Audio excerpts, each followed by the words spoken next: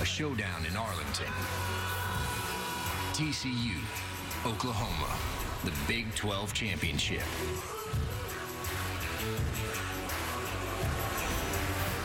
From Arlington, Texas, welcome to the 2017 Big 12 Championship on Fox, presented by AT&T. For the first time in seven years, there's a Big 12 title game, and this one pits the 11th ranked Horned Frogs and the Sooners at number three, perhaps on the verge of the college football playoff. Welcome inside. Joe Davis with Brady Quinn. You know, the Horned Frogs started this season unranked. They were a bit of a surprise, sitting at 10 and 2 to get to this championship game. For Oklahoma, different coach, but same story. Lincoln Riley steps in, and behind the Heisman frontrunner at quarterback, they sit at 11 and 1. He's been the best player this season in college football at the most important position. He leads the country in touchdown passes, completion percentage, and ratings. And what makes him so successful is his uncanny ability to buy time in the pocket while still keeping his eyes downfield to make the big play. Oklahoma leads the country in big plays this season.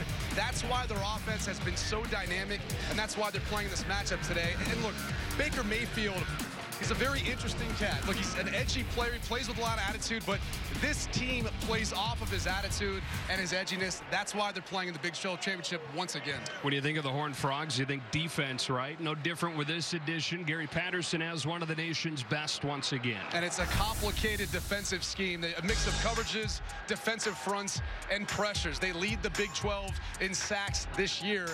And really, with the exception of their game versus Oklahoma earlier this year, they've been the top defense in the conference. And when you look at some of the struggles that they've had in that game up in Norman, Oklahoma, it's been stopping the gap running schemes.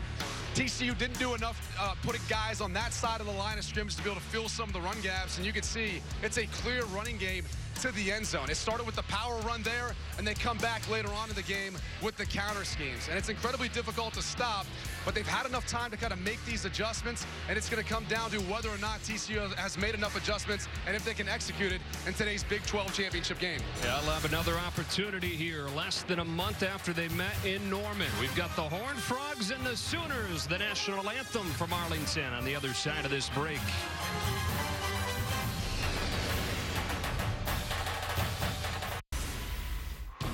This feels like a serious playoff football game. Doesn't it? Right now.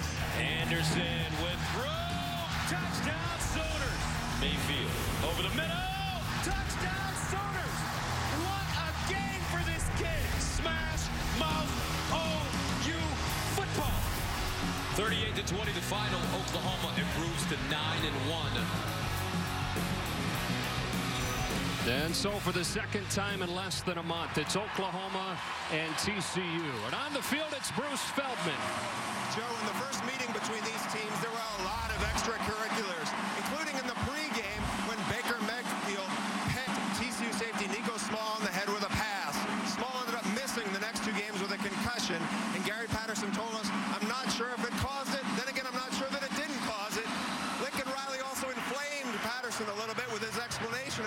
of throw, saying when you run through another team's warm-up line, things like that can happen. When we talked to Lincoln yesterday, he goes, you know, I probably shouldn't have said anything in the media about it. Gary knows I respect him, and he knows I respect his team. Now over to the TCU Horned Frogs with Petros Papadakis. Bruce, we don't have any fireworks in the pregame so far today, but there were fireworks last week, and that why Nick, that's why Nick Orr, the safety, is not starting this game. Multiple punches thrown against Baylor. He is out for the first half. Starting in his place will be Markel Simmons. He started two games when Niko Small went out for the head injury that may or may not have been caused by Baker Mayfield. But no fireworks so far. We'll see him on the field. Joe? All right, boys, we're ready to go. TCU won the toss, deferred to the second half, so right away we get to see strength against strength with the Oklahoma offense and the TCU defense. It's the Big 12 championship game for the first time in seven years. TCU, Oklahoma, off we go. Arcelia Sutton takes a knee, and the Sooners just start at the 25-yard line with Baker Mayfield, one of the all-time great college football players, leading the way. He's been absolutely phenomenal this season, and I think kind of thought to yourself at the beginning of the year, how would he be able to reload after losing Dede Westbrook, Joe Mixon, Samaje Perine? No, it's just the same old Baker Mayfield. He's been phenomenal. He's one of the most accurate quarterbacks I've ever seen at any level.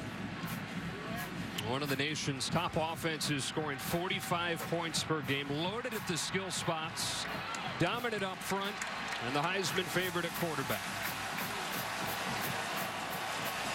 The thing I'm most curious to see is what adjustments does TCU make after they got beat down by Oklahoma up in Norman just a month ago.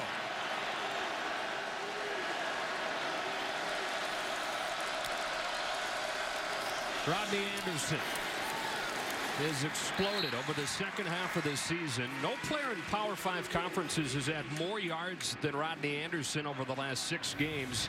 And a guy who played in just two games over his first two years. On second down, Mayfield to throw for the first time. Lets it fly for Mark Andrews, and it's third down. With a defense from Travin Howard. Mayfield sailing his tight end third and seven. And what coverage by Travin Howard. He plays linebacker. How many linebackers can run down the middle of the field and essentially play the deep middle of the field like he did on that last play? And third down, this is the down. I'm curious to see how much pressure Gary Patterson will bring versus Baker Mayfield. He is the best quarterback in the country versus the blitz.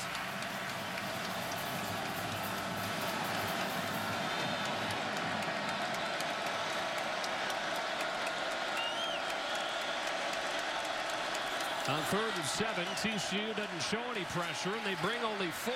On the speed out, Michael Jones has it for an Oklahoma first down.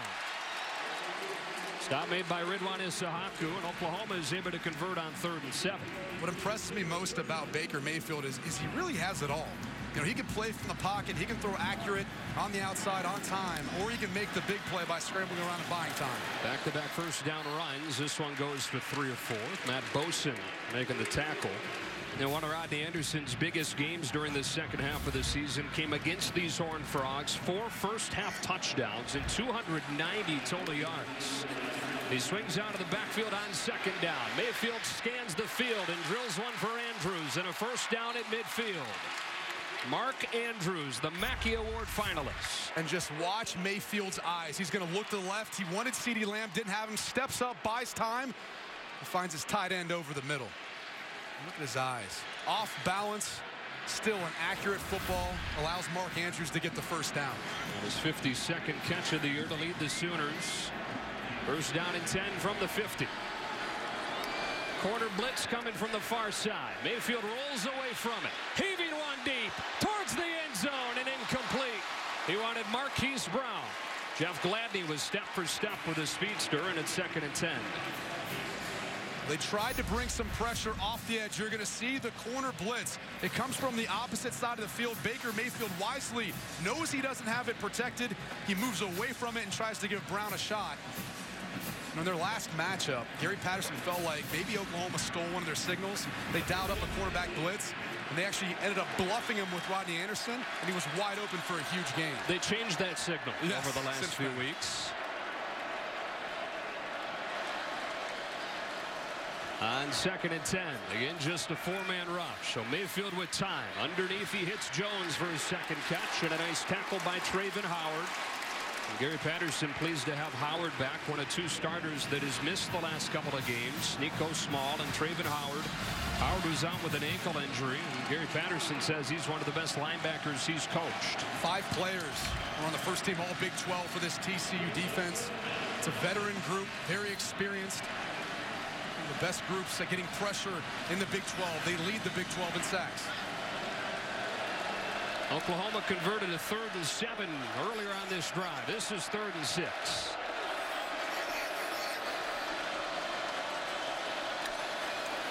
Frogs bringing pressure. Mayfield in trouble. Able to get rid of it, but a yard short. It'll be fourth and one as Andrews is stopped by Ridwan Issahaku. Talking to Gary Patterson for this matchup, he said, we watched a lot of what Texas did versus Oklahoma. They held them to under 30 points. No one's been able to do that against Oklahoma this season. You can see they're already trying to dial up some of those pressures. Texas blitzed Oklahoma 40% of the time. As we look at the Sooners going for it on fourth down, this is no surprise. They're an aggressive offense. Fourth down, two.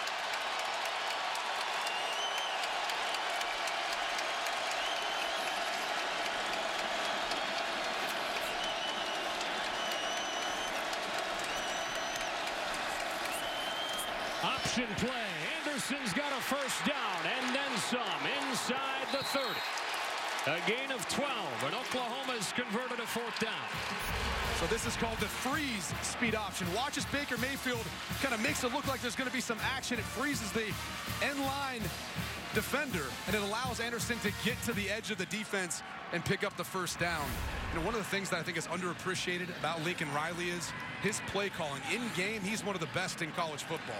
Of course, was the coordinator his first two years at Oklahoma, then took over for Bob Stoops as the head man prior to this season. And since he took over, Oklahoma number one in the country in just about every offensive category. And the 10th play of the opening drive for the Sooners. Mayfield looks short side. Gets through his progression. Zips one behind Marquise Brown, and it's second and 10.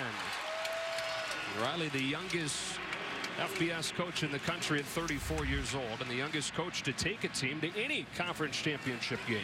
Yeah, and look, he, he kind of fell into a good situation. Obviously, what Bob Stoops has built at Oklahoma has been tremendous, but that doesn't make it easy. And there's a lot of pressure on you. Got to hold yourself up to that standard, and Lincoln Riley has done that this year. First time since 1998, somebody other than Bob Stoops roamed those Oklahoma sidelines, and Lincoln Riley's done a great job following it. Out of the pistol on second down. Here's Brown. Gets a block.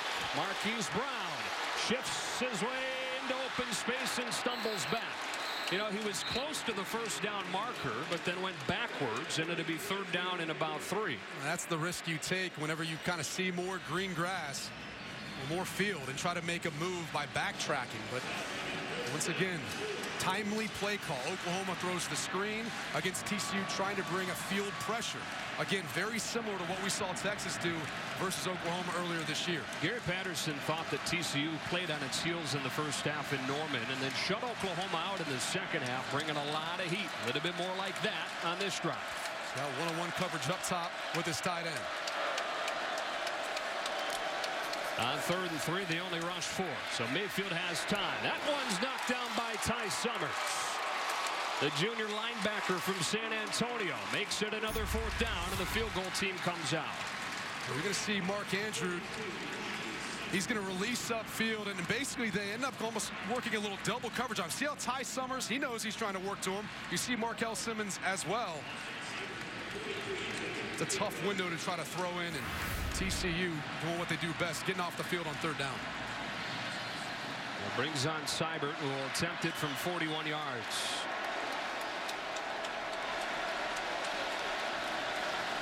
The junior out of Belleville, Illinois, has nailed 12 in a row, and Oklahoma has points on its opening drive. Kenny Hill and the TCU offense to the field for the first time in this Big 12 championship game when you come back.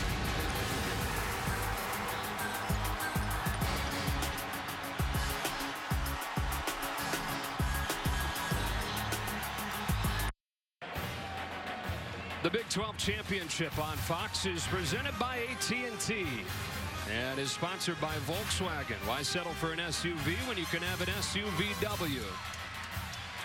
Aerial coverage of today's game being brought to you by our good neighbors at State Farm. State Farm is here to help life go right. Back at AT&T Stadium, Oklahoma settles for a field goal on its opening drive, and now the Horned Frogs get ready to touch it for the first time with one of the best return men in the country in KaVontae Turpin waiting back. Oklahoma has a weapon in Seibert, one of the highest touchback percentages you'll find in college football. On display to limit Turpin here. And so here comes the TCU offense and Kenny Hill, the senior from Southlake Carroll right here in Texas. Yeah, and a dra dramatic improvement from last year to this year. And, and he really just has improved over the course of his career, starting from Texas A&M to now at TCU. I think the thing that you're seeing most is he battles back from adversity. It's been kind of a, a roller coaster year in regards to him having some great games and following it up with a an average game at best. But it's the times when he struggles in games, you see him still come back and respond later on. First time around against Oklahoma was below 50% through the air for 270 yards. But last week, one of his best games of the season versus Baylor, so hopefully he can carry that momentum into today. That was after he missed the Texas Tech game with an injury. Threw for 325 and three touchdowns against the Bears. TCU starts its day with a Kyle Hicks run. Nowhere to go, and the ball comes out.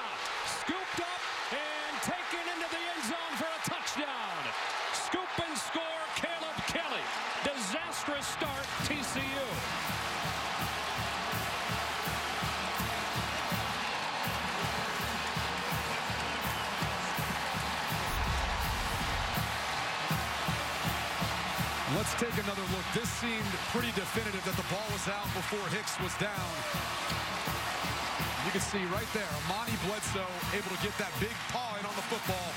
And there's Caleb Kelly. Take it to the house. And the key on that play, Caleb Kelly actually brought pressure off of the edge. So good hustle by him, continuing to run down the football. This has been one of the strengths of this TCU offense, taking care of the ball. It turned it over just one time over the last four games. One of their two losses, turnovers were a huge issue. At Iowa State, they turned it over three times, but had been so good at taking care of it since then. Oklahoma races out of the gates with a little help from the defense. In the Big 12 championship, it's 10-0.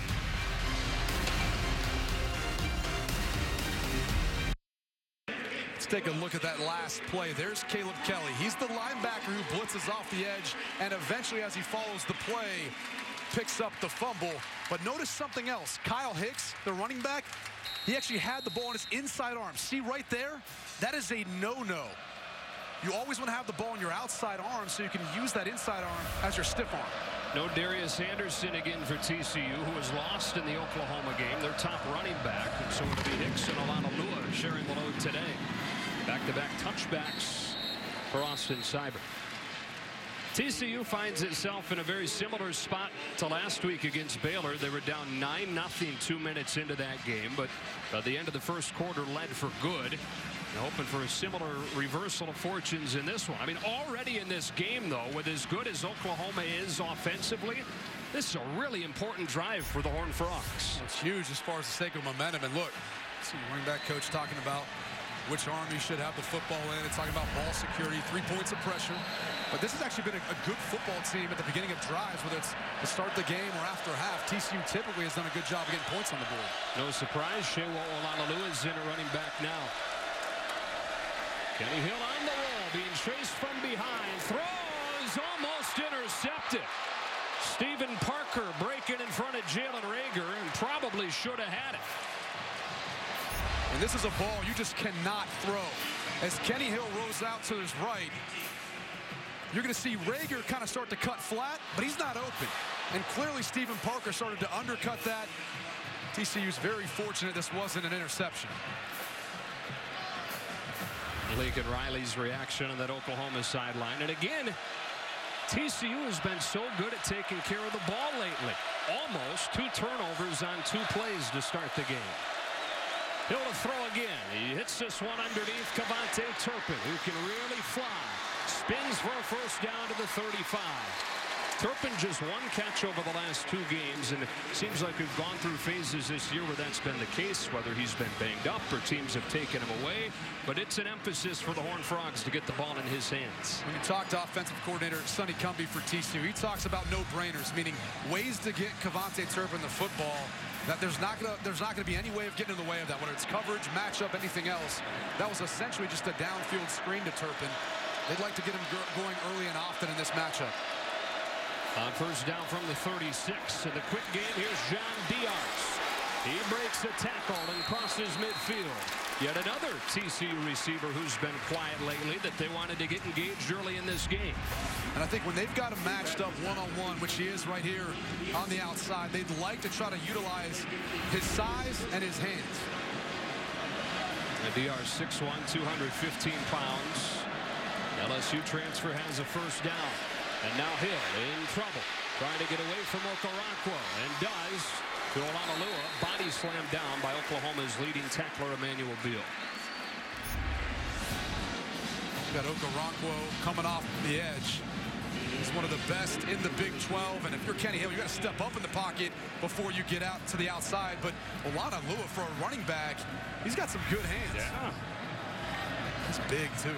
6'3", 235 er down there before the game. You're right. Huge. You like to run some of the Wildcat with him. Oklahoma struggled against West Virginia last week in the Wildcat. He runs it for the first time and stopped by Amani Bledsoe. They thought that Sewo Olonilua last week running for a career high 71 yards. Gary Patterson said it was the first time that he ran the way a big back should. Ran like a guy who's 235 pounds should.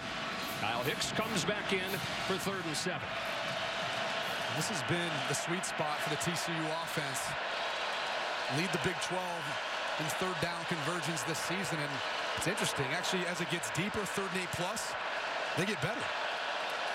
Kenny Hill, who has the highest completion percentage in the country on third down this year, barks out the signals.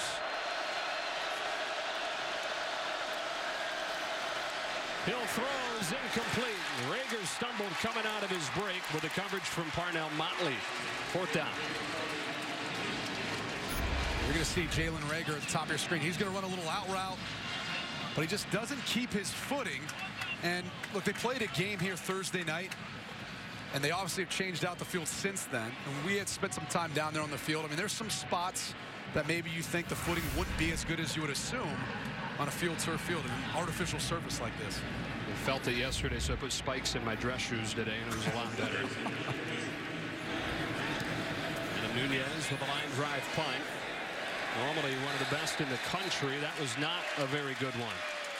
So Oklahoma will have it inside the 20, already leading 10-0. The Heisman frontrunner Baker Take a look at the road to the rings presented by Kay Jewelers. Oklahoma, you figure, is in with a win, sitting at number three. Then the discussion becomes if Ohio State's able to beat Wisconsin tonight on Fox, who's in? Alabama, Ohio State? Yeah, I think they'd have to beat them handily, too. Really try to impress the College Football Playoff Committee, although that Alabama resume doesn't look quite as good. They need some help from Fresno State, mind you, to stay within the top 25.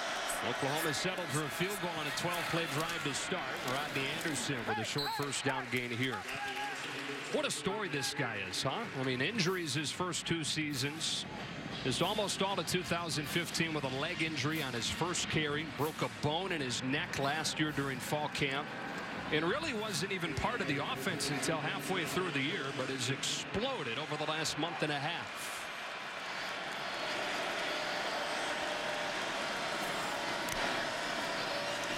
He's got it again on second down, and he's greeted rudely by Ben Banogu. The Big 12's defensive newcomer of the year drops him for a loss of four. This is the difference between last time they played Oklahoma. Watch how aggressive Banogu is in attacking the mesh point of the quarterback and the running back. He forces their hand. And that was something where when we talked about in the open, a lot of the gap running schemes Oklahoma likes to run, they weren't as aggressive as far as attacking Baker Mayfield and the running back at the mesh point. Number two run defense in the country, Brady, but they gave up 200 to Oklahoma the first time around. Third down and 12. Mayfield quickly outside. They'll need open field tackling. They don't get it. Marquise Brown, first down across the 45. A gain of 31 for the first-year JUCO transfer who's really come on. Well, you can see the miscommunication. You see Niko Small. You see Ridwan Issahaku. Both of them was signaling they needed an additional defender. They were a player short, but Oklahoma took advantage of it. And boy, how good has Brown been as his confidence has grown this season. He's evolved from not just kind of a special teams guy with some speed, but a legitimate deep threat. North Oklahoma replaced Dede Westbrook. Had to replace more than 70% of last year's total yards when you combine Westbrook and Perine and Mixon. They've been able to do it. Play clock winding down. Mayfield gets it off, feeding it to Anderson. On the Anderson with a first down gain of six.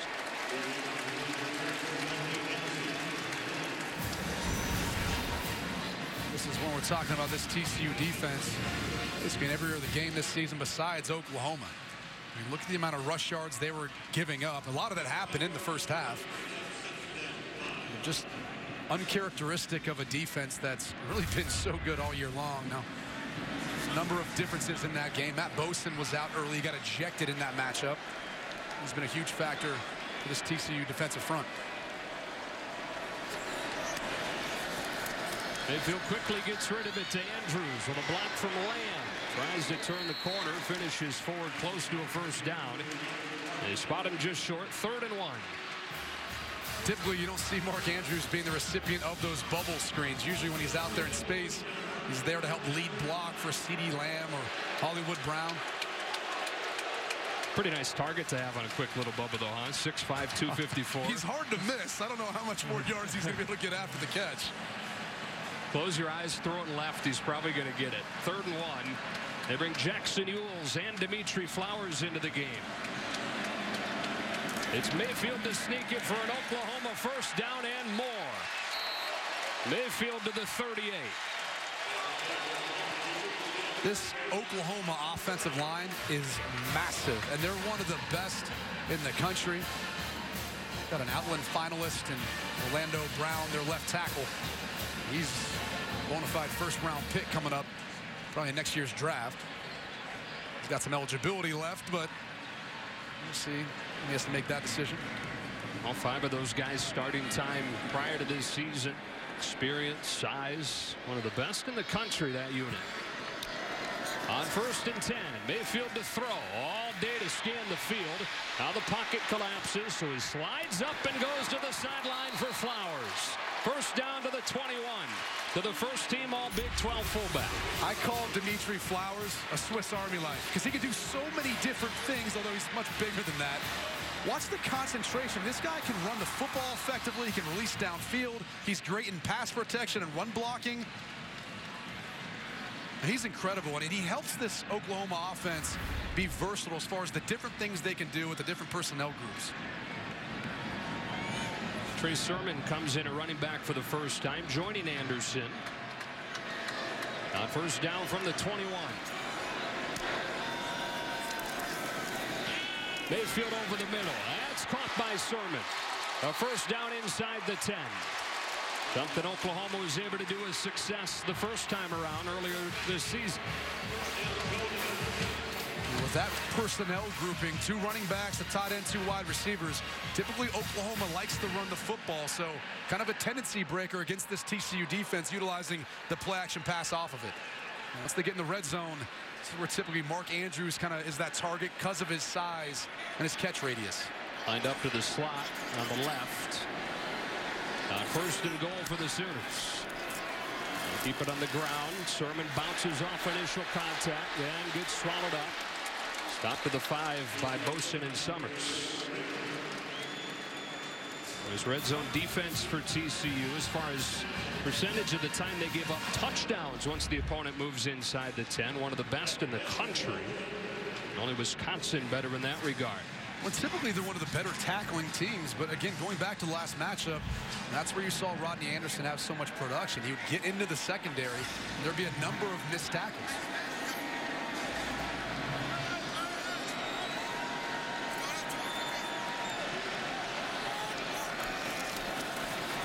Mayfield sets. In zone Andrews. Touchdown Oklahoma. And they've exploded out of the gates on the Horned Frogs again. How often do you see this? Baker Mayfield under center. Doesn't happen very often. He's going to fake, fake, drop back. And you're just going to see a little short post route by Mark Andrews to the back of the end zone. Everyone's eyes are caught up with the jet sweep fake, the run fake. And there's Mark Andrews just finding that soft spot back and behind the TCU secondary. Started the game with a 12-play drive that finished in a field goal. Here they go 81 yards in 10 plays and finish it with a touchdown. The key play on the drive, Marquise Brown going 31 yards on third and long. It's finished off with Andrews, and it's all Sooners in the Big 12 championship.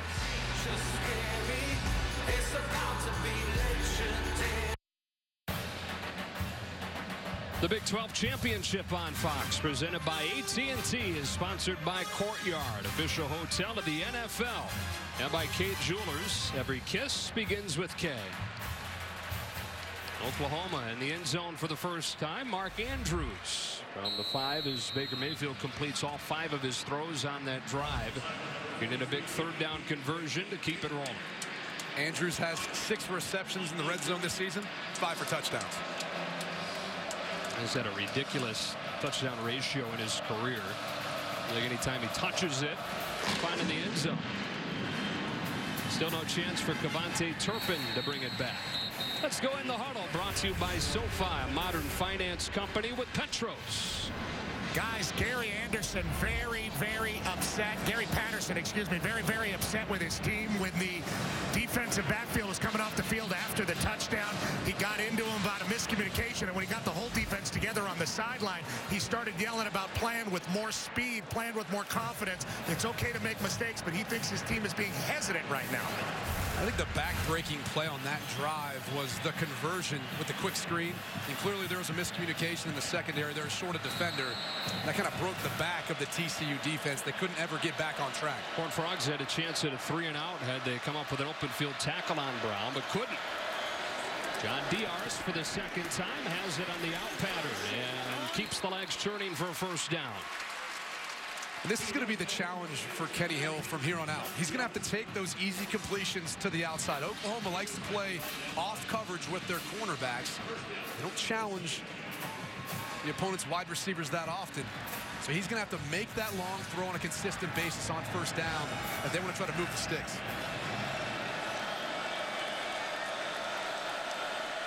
Hill started four of six.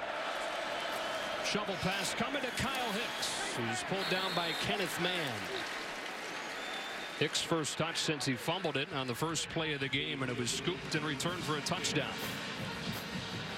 It's one of those curveballs TCU's offense likes to throw in throughout the course of the game. It was unbalanced. You didn't see an eligible wide receiver on that left side of the field. A little shovel pass, just something that TCU does, trying to give the defense a lot to think about, whether it's personnel, formations, what type of play calls. This time they put Hill under center. On second and five from the 41. They'll throw it for Turpin too high. Tried to set up Turpin in space. Third and five for the Horn Frogs.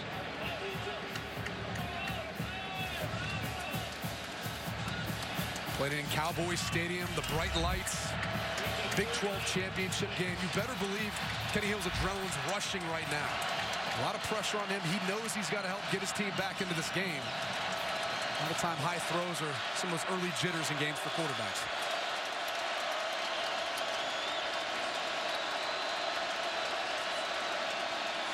The best third down passer in the country. Facing a four-man rush. He's got time. He rolls to his right. He needs the 47. He's got it into Oklahoma territory. Tiptoeing the sideline inside the 45. A run of 18 yards for the senior Kenny Hill. And he's going to have to do this throughout the course of the game because there's going to be times when no one's open downfield. Oklahoma drops back seven into coverage. And he's going to have to take off and find ways of making plays with his feet. Here's Turpin out of the backfield this time. Uh, he gets a short gain. Will Johnson able to fight off with a block. Second and nine. That's what you want to see if you're defensive coordinator Mike Stoops out of Will Johnson. Kept his leverage, meaning he didn't let Turpin really get past him to the outside. Fought through a block to make the play. Stoops calls him the smartest player on this defense. So good at recognizing splits and all the little things to help give their secondary an advantage.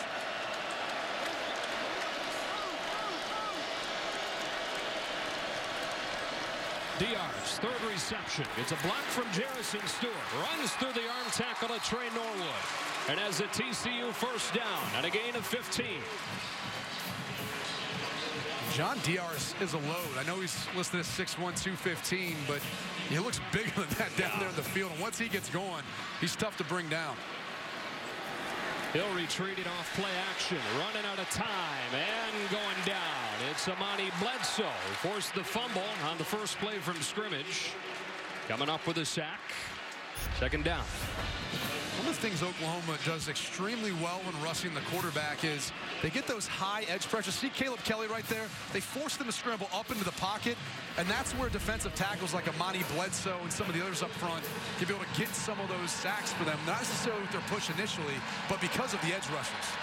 In the return to the Big 12 championship game, Oklahoma with the best first quarter in the game's history. 17 points more than anybody in the first quarter ever. Second quarter on the other side.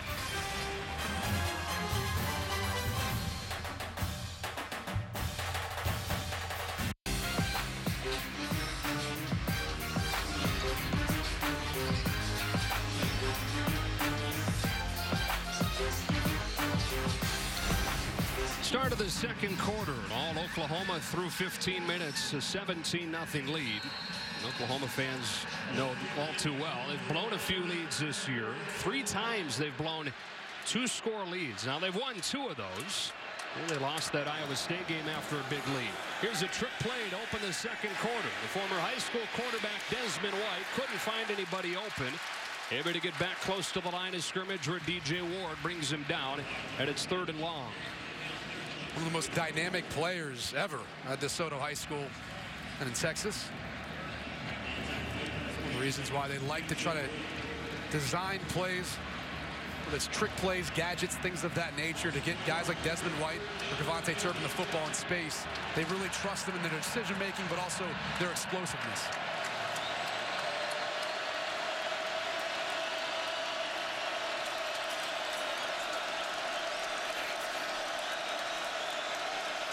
Oklahoma brings pressure out of the secondary. Hill throwing for Reagor. In the end zone, touchdown.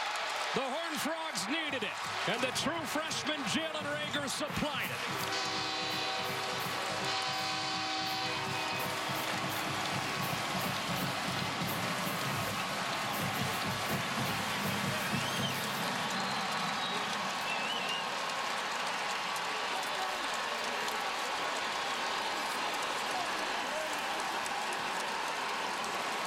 just what the doctor called for for TCU. 29-yard touchdown to Jalen Reagor. Team leading seventh of the season for the co-Big 12 Offensive Freshman of the Year. And it is Cole Bunce to handle the kicking duties today. Apparently Jonathan Song is okay physically at this point, but they're going to ride Bunce, who's been pretty good the last couple of games. Oklahoma gamble and TCU was able to respond. You see Kenny Hill, he sees the pressure. He signals out to Reagor to run a fade route to the end zone. That's the Horned Frogs with six.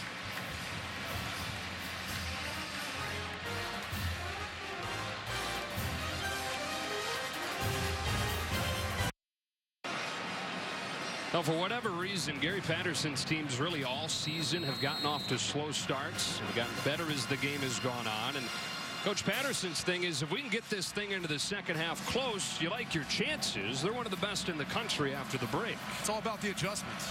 Gary Patterson and his defense do a good job kind of settling in figuring out what offenses are attempting to do. Short kick here, Marcelias Sutton from the four. And Sutton won't even reach the 20. Fighting his way across the 15 to the 16-yard line. Sammy Douglas with the tackle. What a way to finish the day on Fox. The Big Ten Championship tonight. Eighth-ranked Ohio State, fourth-ranked Wisconsin. Its fifth trip to the championship game in seven seasons, although one of those, that 59-0 whooping they took a few years back that uh, essentially kept TCU out of the playoff. They might need a win like that in order to be able to get into the playoffs. It's going to be something like that. They're, they're really going to have to try to impress this committee and demonstrate that they should be one of the top four teams to play for the national championship. Playing that game in Indianapolis, I always think it's cool when you get to play in a professional stadium as a, uh -huh. as a college player, but you know, neither of the players on, on these two teams, but in particular more for TCU, are that unfamiliar with the confines here at AT&T Stadium. Played in high school, some have played other games at the beginning of seasons, but they're familiar with this environment. Uh-huh. Both teams walked through yesterday, really just walked around the stadium. Yeah, a little more familiarity. His drive begins with a Baker Mayfield pass play. Steps up and takes off into open space. Baker Mayfield across midfield. Showing off speed over the 30. A 56-yard run. It's hard enough to try to stop Rodney Anderson, and then all of a sudden you try to stop this pass attack. There's just not enough guys around the line of scrimmage to account for Baker Mayfield. And look at the speed. If not for the angle of the TCU secondary, I think Mayfield's taking that one to the house. Once again, Baker, he's got something in the oven. He's got something cooking. Nice. You always have one or two you spend all week thinking of, and then they're always really great. I'm all out. That's Good all I got. That's all I got for today. First down from the 30. Oklahoma trying to answer right back. Here comes Rodney Anderson. He's close to another first down, and we go down to Bruce. Guys, Baker Mayfield spent most of that TCU drive stalking the Sooner sidelines, kept on telling his teammates, let's go, let's go, we're keeping this up all day. We are doing this all day. Make sure we keep the tempo going. We are running through them all day. Fifth year senior from Lake Travis, Texas. Unquestioned leader of that offense. You talked about it off of the top. Rubs some people the wrong way, but if you're wearing crimson, you love every bit of it. I think if you're a player on this team, you love it too because you understand that he brings the fight to his opponent, not the other way around. You don't see that many times with an offensive player. Second down and short. Mayfield steps up, lost the ball, and thankfully for Oklahoma, Dru Samia was there to fall on it. They keep the drive alive. It's third down. That was Ben Banogu. It's one of the things he excels at. He's got long arms. Very good at being able to get to the quarterback, but in that particular case, accurate, almost lethal. Didn't get a hand on the football. He is long, huh? And he's got a lot of speed, too. When you combine Banogu with Boesen, you see why TCU can get a lot of pressure just rushing forward. They don't bring a whole lot of blitz, even though they have early on today. Oklahoma's had some key third down conversions already in this game. Third and six. That's Mark Andrews. Mayfield scans. Wants Andrews in the end zone who can't hang on. Coverage from Niko Small, and it's fourth and six. Every time you get Mark Andrews in one-on-one coverage, you got to take a shot and give him an opportunity. Niko Small is a 5'10 safety. I mean, it's just tough to be able to try to find a way of getting a hand in it to disrupt anything. Every ball to Baker Mayfield throws seems to be catchable. There's not many times you watch on film throughout the course of the year where he throws a football that's just inaccurate. Starboard hit from 41 on their first drive. This is from 43. And it snaps a string of 12 makes in a row. But despite the long run from Baker Mayfield, TCU holds up. It gets the ball back to the offense in a two-score game. Second meeting in less than a month. Oklahoma and TCU. It was all Sooners in the first quarter. Horned Frogs trying to yank away some of the momentum here in the second. See nothing Oklahoma before Sonny Cumbie's Horned Frogs are able to convert a third and long for a touchdown. And now they get it back in a 17-7 game. Kenny Hill swings it outside. Avante Turpin steps out of a tackle and runs for a gain of five or six. And very clearly they're finding any way they can to get the ball in the hands of this guy. You know, in the last matchup between these two teams, KaVontae Turpin showed a little bit of frustration at times for not getting more touches. A pretty productive day, but clearly you can see early on they know he's their biggest playmaker and he can change this game in a heartbeat. Gone to him four times already. He only had one catch over the last two games coming in. He's the motion man on second and four.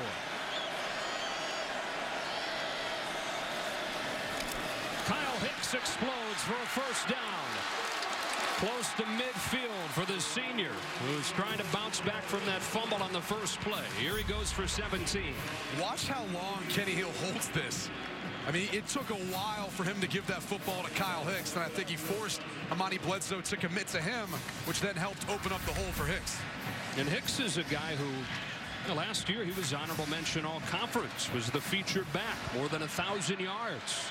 He's dealt with injuries this year, though. Dealing with some adversity today, trying to bounce back. Back to him to the short side of the field. And Kyle Hicks again accelerates forward, running with purpose for close to a first down. Obo Okoronkwo with a tackle. They spot him right at the marker. Him in this play. Gets the football, stretches it, and then he sees the cutback lane. TCU runs a lot of different zone blocking schemes, meaning basically they start in one direction, and it's on the onus of the back to then see the cutback lane and find the hole. Kyle Hicks has tremendous vision. Right here in Arlington. Looking down less than a yard. And they'll throw it against the blitz. Hicks is open out of the backfield for a TCU first down and a heavy dose of Kyle Hicks on this drive. When you get plus 50, you got second and short like that, typically you'd like to take a shot. TCU ran four verticals, but credit the Oklahoma secondary for their coverage.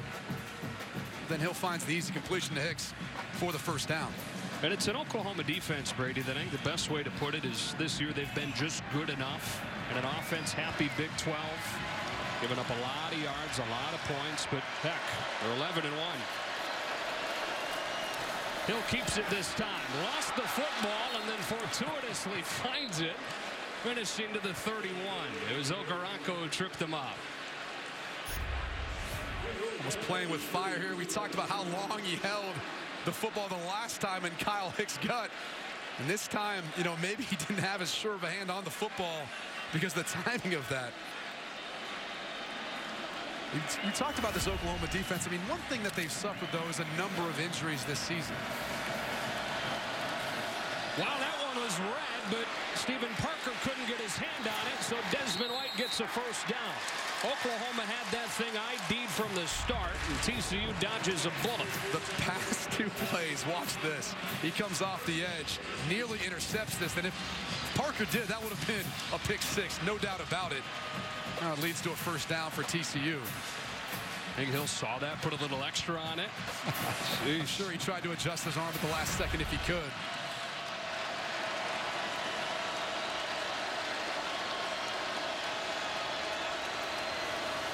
Back to Hicks on a stretch play. Gets the corner. Kyle Hicks close to the 15.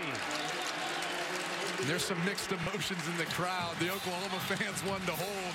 Meanwhile, the TCU fans are excited about, once again, a positive game. As you can see right there, it's number 81 Cole Hunt working on Caleb Kelly, and you could maybe make a case there, but our rules expert Mike Pereira saying, no, play on. Mike's with us in Arlington today.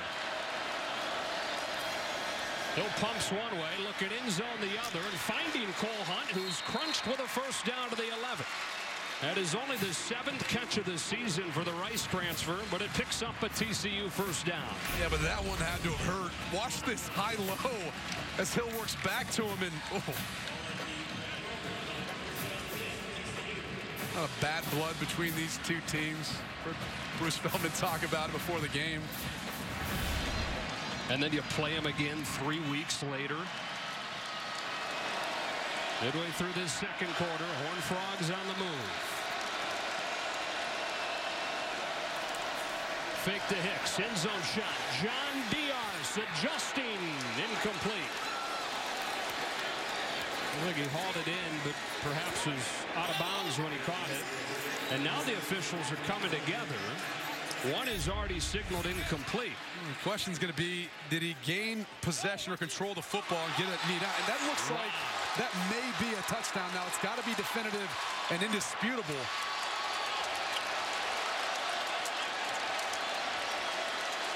Mike Pereira, we mentioned you're sitting right by us here in the booth in Arlington. What do you think? Well, I think from we see it looks like a touchdown. He actually gets control with one arm as he's bringing back in with the knee down. That is a ridiculous catch.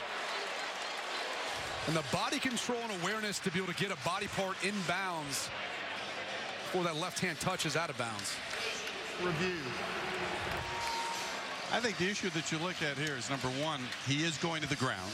So you have to focus on whether or not he maintains control of the ball. To me, he has it as he's going to the ground. And then the right hand is going to stay on the ball, even though you may get a touch of the ball on the ground. Watch for that control there. Ball hardly moves. I think you got to look at this and turn it into a touchdown. Wow. You agree with me here? Or? I'm with you. I'm right You there with with, you. I mean, I think there's enough there where it is indisputable. It looks like a touchdown. You know, I was going to be nitpicky a little bit about the, the play call in the sense of, you know, if, if they don't do the play action pass to begin that play, Hill gets the ball up sooner, and maybe they're not running out of space because he had one-on-one coverage. The play action fake wasn't going to play a factor as far as the coverage of that. But Diarse being able to make a ridiculous play. None of that matters. The people here already know that this is probably going to be called a touchdown. They have a pretty good view with a video board here. and Mike Defee actually has a little bit different view than Big 12 officials normally have on replay reviews. The Big Ten is the only conference in the country that uses these monitors. They've actually loaned the Big 12 the monitors for today. And so Defee is part of the replay process more than just being on the phone with a booth. And I, and I think that's great, Joe, because it gives him an opportunity to look at the play and confirm, too, what the officials said that they saw on the field as he sees it. And then if he needs to make an explanation of why he overturns the call, then he sees it as opposed to just hearing what the replay official had to say. And let's give this crew some credit because they were by far and away the best in the Big 12 this year. That's why they get to do this game. After review, the receiver got his hands under the football, maintained possession of the ball. It's a touchdown. Well, it took them a little while, but the Horned Frogs have arrived in Arlington, and we've got a game in the Big 12 Championship.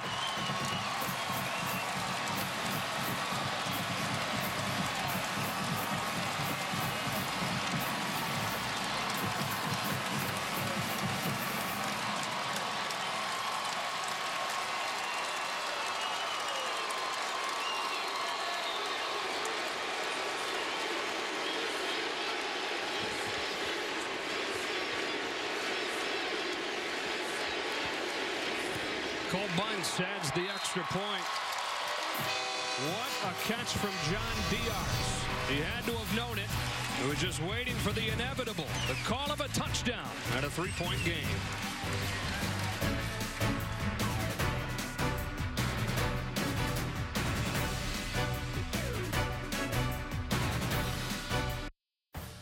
Coming up on the State Farm halftime, can 14th ranked UCF keep the unbeaten dream alive? Plus, trolling Lane Kiffin and FAU gun for the Conference USA title. And we'll preview tonight's Big Ten championship game here on Fox. Joe Brady, see you at the break. All right, Rob, looking forward to it. Kenny Hill, back-to-back drives with touchdown passes. Getting nice catches on both. Jalen Reagor and then John Diarse with one that you'll see replayed all over social media. Cole Bunce with another short kick. Jeff Badet back on this one. Kentucky transfer. The speedster takes it across the 30. There's a flag down. A couple of flags come flying in from around midfield.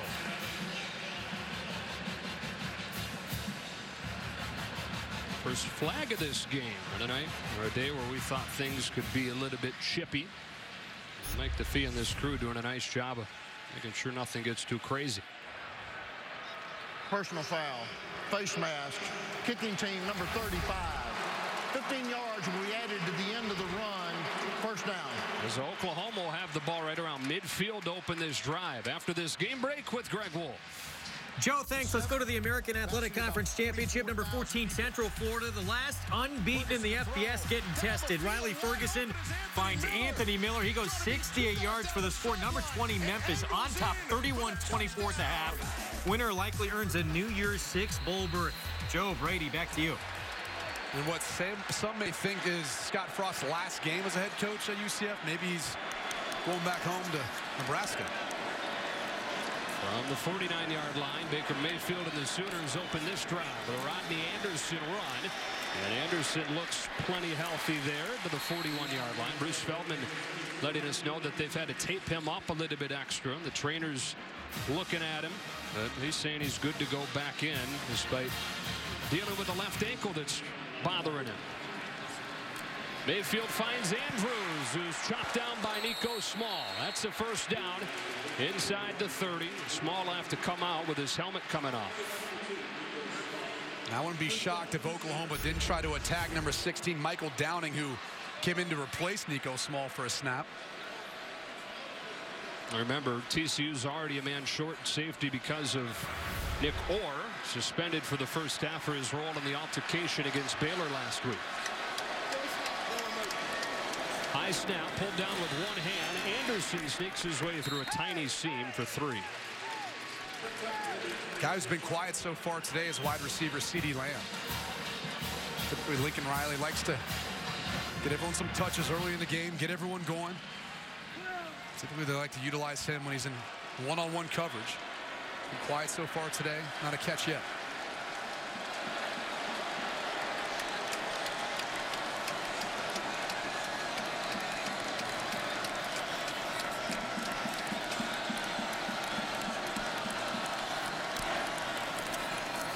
Anderson again. Third and short.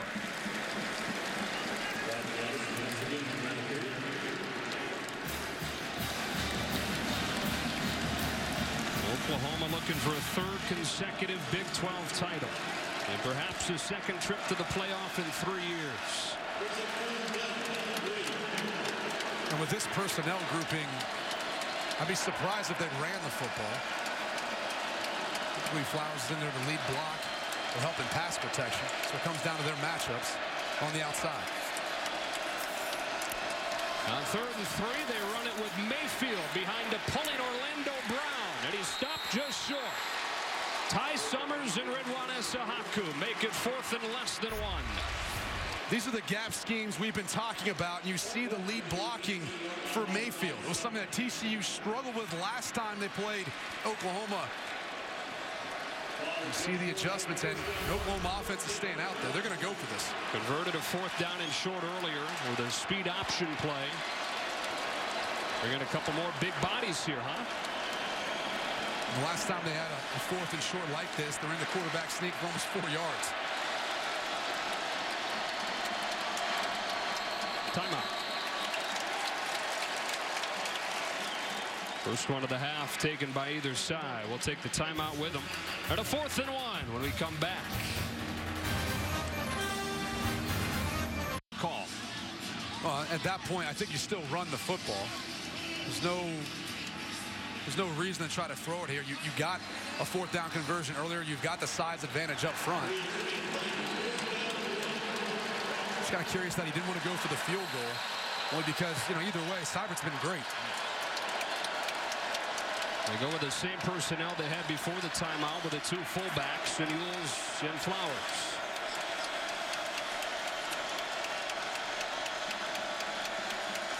On fourth down with a hard count, they get Chris Bradley to jump.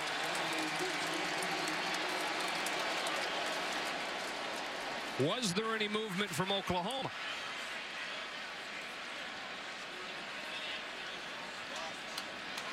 Mike Defee and his, his crew have done a tremendous job today of making sure they get everything right, but even the substitutions. There's been a lot of personnel changes, make sure they hold the ball, allow each team to have an opportunity to sub. Offside. Defense, number 56, moved into neutral zone, causing the offense to move. Five-yard penalty, yardage results in a first down. It's hard to hear, but this is just a savvy move by Baker Mayfield, who's obviously a really experienced quarterback. And when you're on a neutral site, you don't necessarily think about using the cadence as, as one of the things in your toolbox. You've got to get the defense offside. So big penalty on TCU makes it first down for Oklahoma at the 14.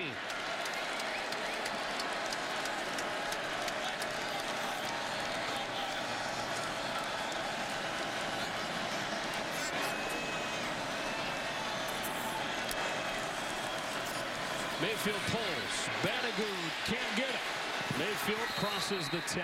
Second and short. I thought the right tackle, Bobby Evans, might have been a hold as Mayfield made his way around the edge. Had a hand on yeah. Look at that. You can clearly see him tugging on his jersey, not letting him go. That was out in the open. It allowed Mayfield to get seven, second and three.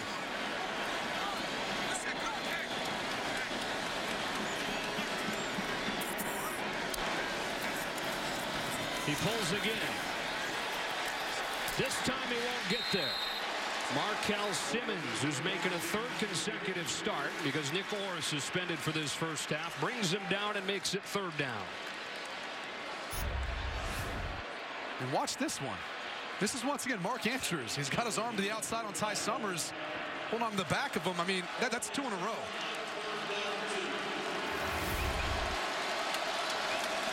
So third down and two.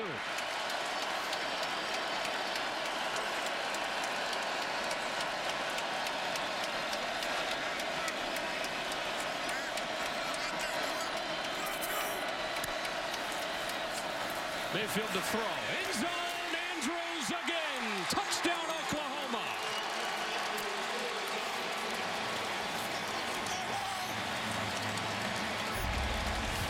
And it's all about the play action pass fake. Watch as he sneaks in behind the soft spot and watch these guys suck up on the run.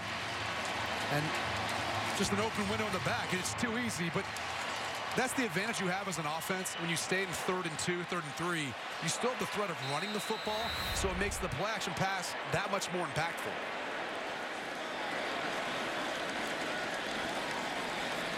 So the Sooners convert on third and short as Mayfield finds Andrews for the second time today. Nice response by Oklahoma after TCU climbed back to within three.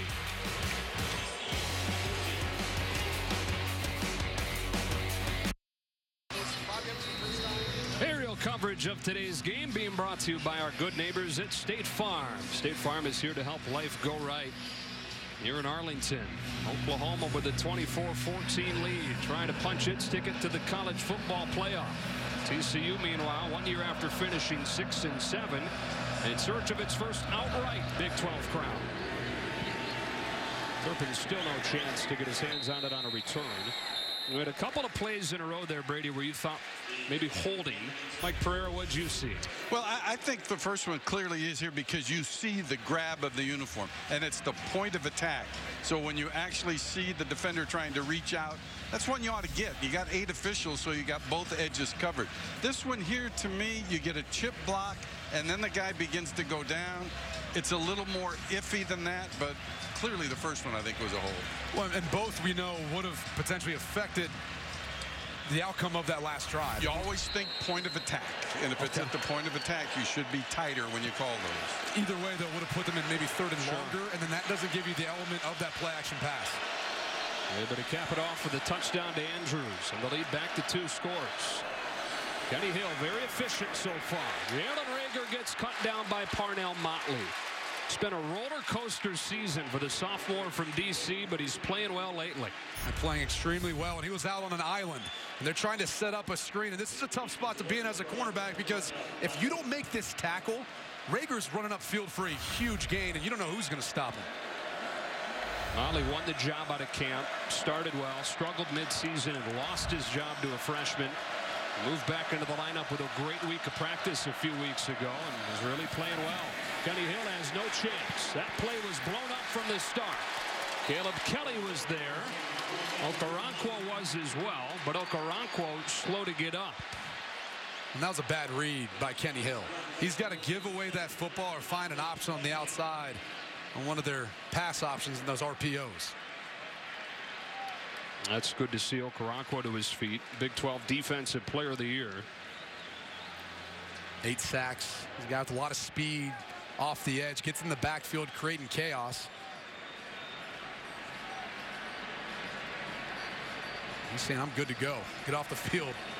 I don't want to miss out on this opportunity. The fifth-year senior out of Houston, Texas. They're going to take him off and bring Mark Jackson on. He's saying this is a pass rush situation. You're going to make me come out. Third and eight.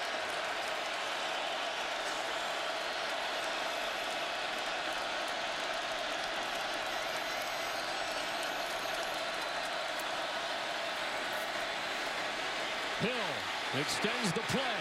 Kenny Hill needs the 35. Fights his way close to it and reaches for a first down. That last effort looks like it got Hill the first down. Talked about it in the first quarter. I mean, these are the plays that Kenny Hill's going to have to make. Now, I thought he had an open wide receiver down uh, downfield in Desmond White. He didn't feel like he could get it to him. Look at the toughness, lowering the shoulder, doing all he can to try to get enough to get that football over, playing for the first down. Boy, third down has been huge on both sides in this first half. Key plays in this game.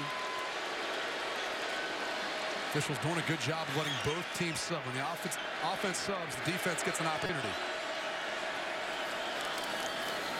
Hill goes underneath this time to Jerison Stewart.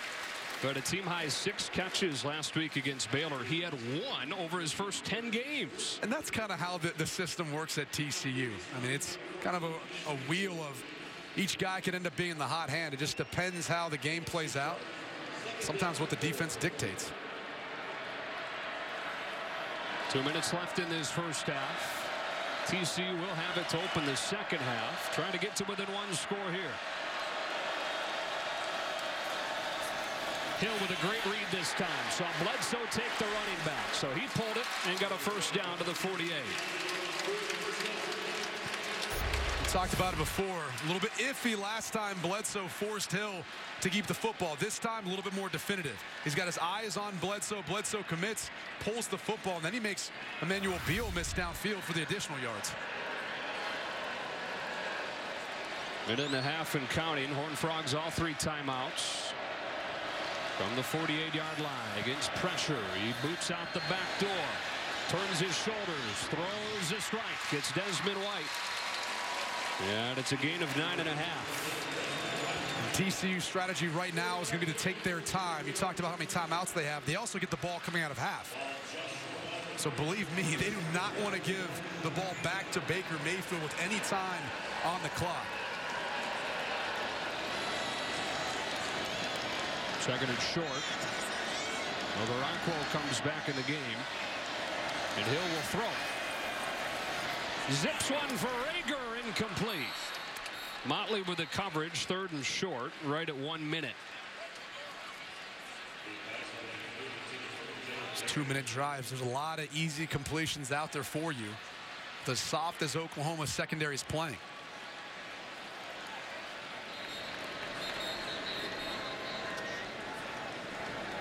Only a second incompletion out of his last 15 throws.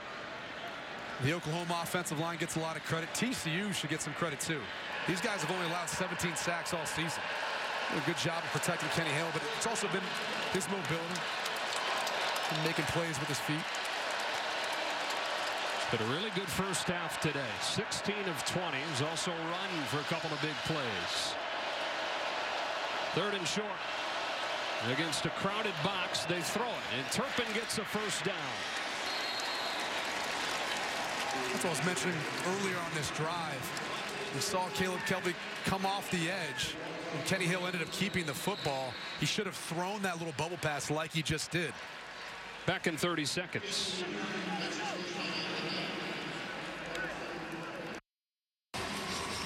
Only a few yards of play in that first quarter, but the offense has come alive for the Horned Frogs here in the second. And not that much different between total yards really for both teams. If not for the fumble that was returned for a touchdown, we'd have need a tighter game.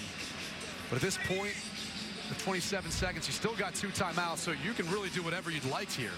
So if Oklahoma all of a sudden leaves you a box that gives you the numbers to run the football, you can still do that. The conversation is going to be if you do have to take a shot, Jalen Reagor, number 18, and number 9, John Diarse. Those are the two bigger wide receivers. We've already seen them each cut, catch a touchdown pass today. That would be where I'd want to take a shot. Yeah, both proving it. Reagor's to the right, Diarse to the left. The 11th play of the drive. It started back at the 25-yard line. Hill with a deep drop. Down the seam. Reagor can't hang on with a coverage from Motley again. That's a throw that has to be on time and out in front. He's going to run a post route once he gets inside. And you see Will Johnson looking the other way. There was a small window for it, but because the ball was thrown behind, Motley's able to make a play and disrupt the pass.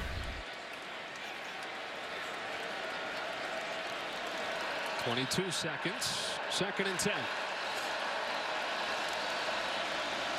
Turpin comes into the backfield and swings out. Hill off his back foot towards the end zone. Desmond White is out there. No flags. Oh, there is a flag that came. There's no doubt about it. I Khalil was wondering. that he tried to, to get back to the hip of Desmond White. What about that play design? Look at him. Eyes Pass only. interference. Defense number eight. 15-yard penalty from the previous spot. Automatic. First down. That's just too much contact once he got to Desmond White, turning around, disrupting his chance to make a play on the football. What about the play design? They ran that little swing screen earlier to Turpin. This time, they run a little pump fake off of it, and they release Desmond White up the sideline. Of course, in college, the ball not spotted up against the goal line. Instead, right at the 10. 15 seconds, one timeout. And again, two timeouts at this point for TCU.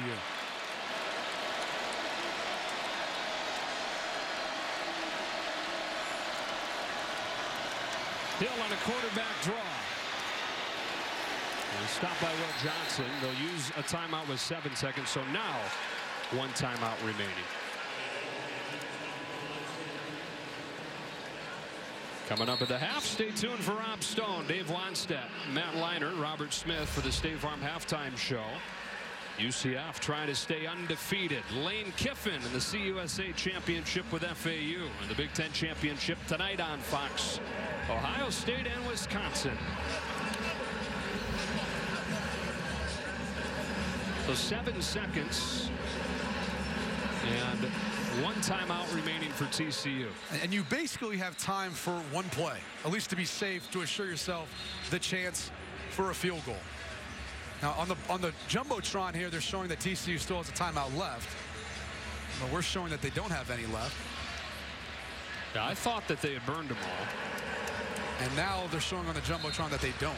We should have trusted our own stuff. True. No timeouts. Well, the Jumbotron's just so big. It's hard right, to it's hard to turn it down. So with seven seconds and no timeout, I mean, clearly you have to kick a field goal to assure yourself getting points. Cole Bunce comes on. Sophomore from San Jose who's taken over the job. The door is opened by an injury to Jonathan Song, and he's performed well. So he's kept it, even with Song healthy. From 26, he makes it a one-score game. Good drive for the Horned Frogs. It started all the way back at the 25. 24-17, another 30-second break.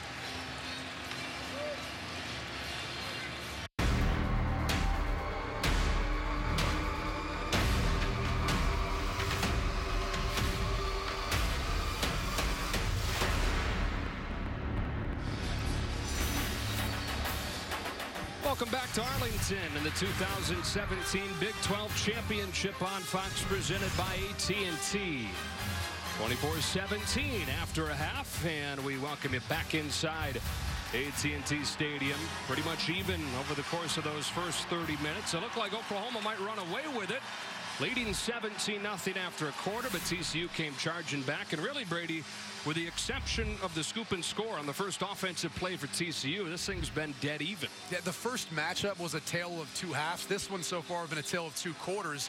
Oklahoma jumping out to that 17 to nothing lead. TCU then responding in the second quarter where they've scored all their points.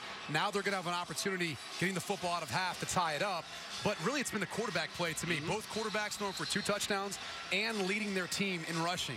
Pretty good play by both guys. Baker Mayfield will have to wait a little bit before he gets his hands on it here in the second half. Kenny Hill will take it on the first drive.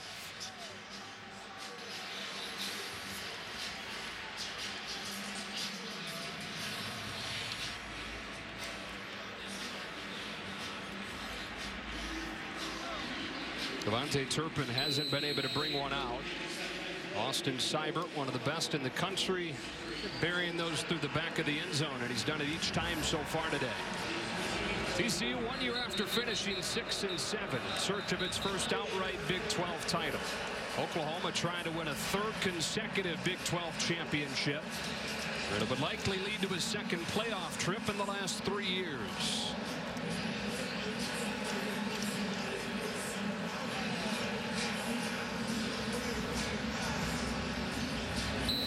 Should have a good second half in store for you here on Fox. Day that begins with a Big 12 championship, wraps up with a Big 10 championship.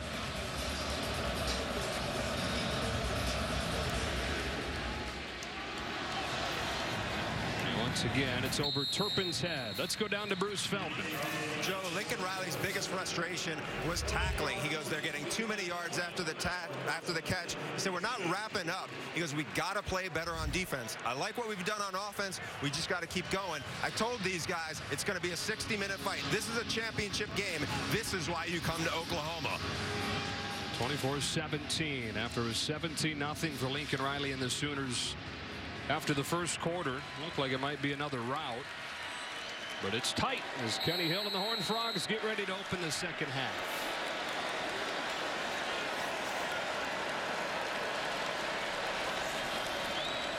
Heavy pass in that first half. About two-thirds pass for TCU.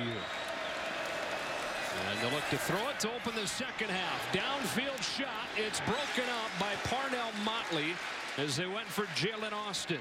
Petros Papadakis, you talked to Gary Patterson. Yeah, Joe, Coach Patterson likes the way that his team bounced back, obviously, but they're having a lot of trouble covering the tight end, Andrews. He's concerned about that. Third down, he wants his team on the field on offense, off the field defensively, but he was very positive about the Frogs' performance. And look, that's just a tough matchup for any team. And I don't know that TCU has anyone in the back end to be able to cover Mark Andrews one-on-one. -on -one. They're going to have to devote two defenders to him. A fake to Hicks and a throw to Diarse, who can't bring it in. Tre Norwood jarred it out of there after it hit off Diarse's hands. Third and 10. It was a high throw, but it had to be. Okoronkwo was in the way. It was right in between Diarse and where Kenny Hill was standing, so he had to put the ball up high. That was the only shot they had of completing that pass. Now in third and long, an area that, look, TCU has been better than anyone in the Big 12, but only converting about 30% on the year.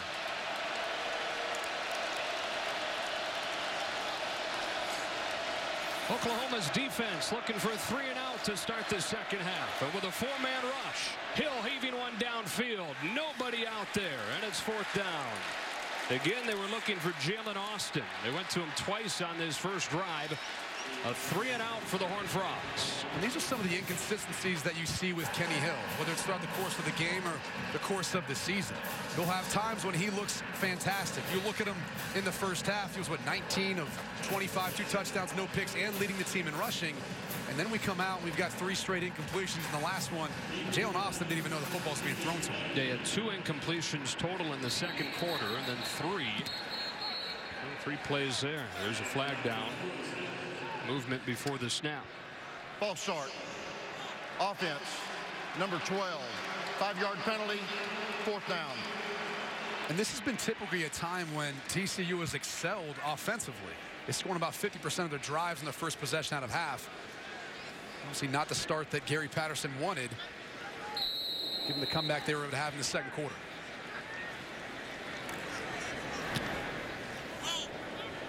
Short punt, great field position for Oklahoma. CeeDee Lamb makes the fair catch on a 36-yard punt. Our Ford unstoppable player, Baker Mayfield, 12 of 17 for 119 and two touchdowns. Well, this has been the key. We talked about in the open. His ability to buy time while still keeping his eyes downfield.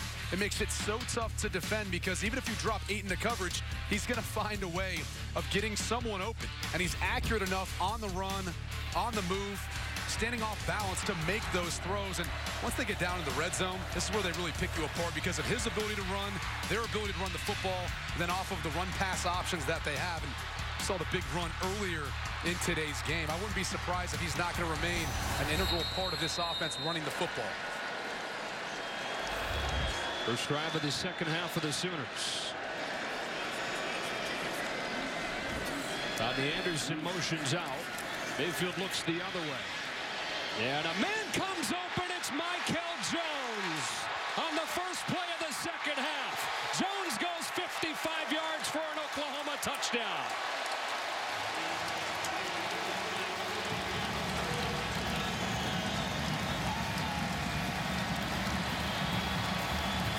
How much time Baker Mayfield had in the pocket. He was looking to the left, waiting for Mykel Jones to get open. Slow off the football, but then he comes back inside off the return route and just just a mismatch. Why Mat Boesen is covering Mykel Jones is a mystery to everyone. Yeah. And for Jones, his first touchdown of the season. Oklahoma's back in front by two scores. Their second play today of more than 50 yards. This one comes on their first play of the second half. Jones to the end zone. The Sooners up by two scores.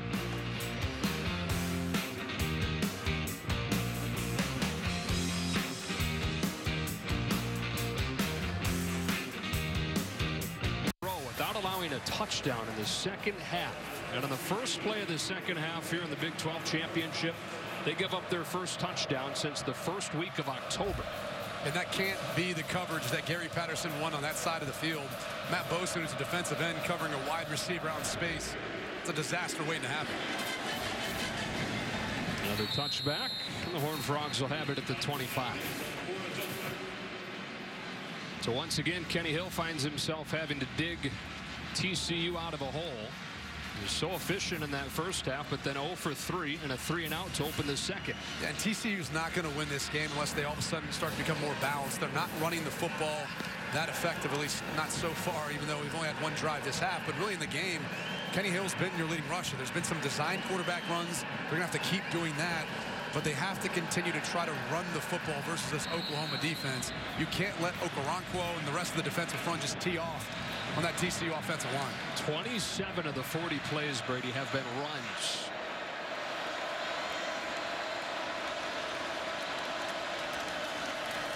Here's Kyle Hicks on the ground. Getting a few. Kenneth Murray, true freshman linebacker with a stop. I said 27 runs out of the 40. It's 27 passes out of the 40 for the Horned Frogs, which is bucking a trend from most of this season when it's been the most run-heavy offense under, under Sonny Cumbie. Well, this is a running formation. You can see the unbalanced set. All the eligible wide receivers, with the exception of the running back, to one side. Second and seven. They dump it off for Hicks. Needed one block. Instead makes the man miss himself. And Kyle Hicks runs down the sideline with a flag down. He stays on his feet and takes it inside the 20. But a flag back around the 40. 56 yards, but I would guess a big chunk of it is going to get wiped away. It will still be a first down. I think it's going to be on Cole Hunt. Schlottmann and, and Hunt were down in that vicinity. Holding. Offense. Number 81. 10-yard penalty from the spot of the foul. First down. Go back and look at that formation. We talked about it's unbalanced. See how he's covered up? That typically, once he's in line, that means that someone can't go downfield once they release for the pass, or at least the ball can't be completed downfield. That's why it said it's a running formation. But a screen, that's okay. So they end up finding Kyle Hicks to the weak side, and you end up seeing on the right side of your screen the hold by Hunt. Mike Pereira says good call. Still is a first down, but instead of inside the 20, it's right at midfield.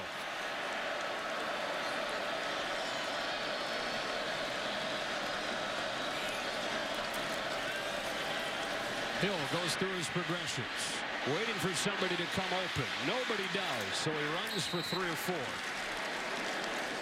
Dillon Faamatau with a stop, second down. A positive gain. I mean, that's the biggest thing. Not forcing anything. Nothing was there.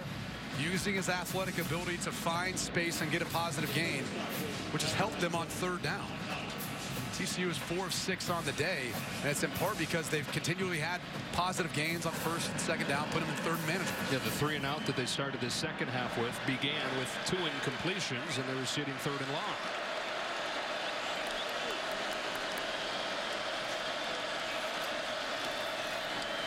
Hill kept it, bounced off one man, stiff-armed another, and got close to the marker inside the 45. Talked in the first half about Kenny Hill and some of these zone reads. In this case, you can see Okoronkwo clearly waiting for Sewo Olonilua. This Oklahoma defensive front is starting to sniff some of this out. Here's another third and manageable.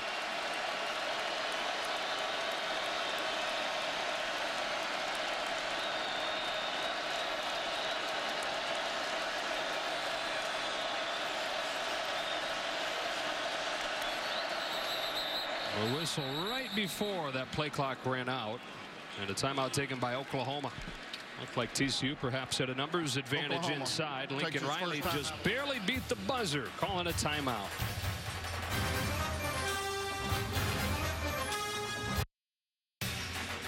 The Big 12 Championship on Fox is presented by AT&T. And aerial coverage of today's game being brought to you by our good neighbors at State Farm. State Farm is here to help life go right. Joe Davis, Brady Quinn, Bruce Feldman, Petros Papadakis, and Mike Pereira is with us as well today, live in Texas. Third down and three for the Horned Frogs. This is that same formation I talked about before on the screen, the big play to Hicks. Interesting to see if they do something to the weak side, which they've done every time they've been in this formation today. That'd be to the left in this case. And they do with Hicks straight ahead. And Kyle Hicks right at the marker. It'll depend on the spot.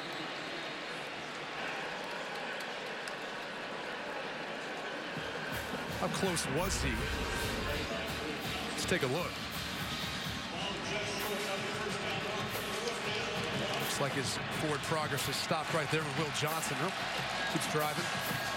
It's going to be close either way. TCU is going for it. Fourth down and inches for the Horned Frogs.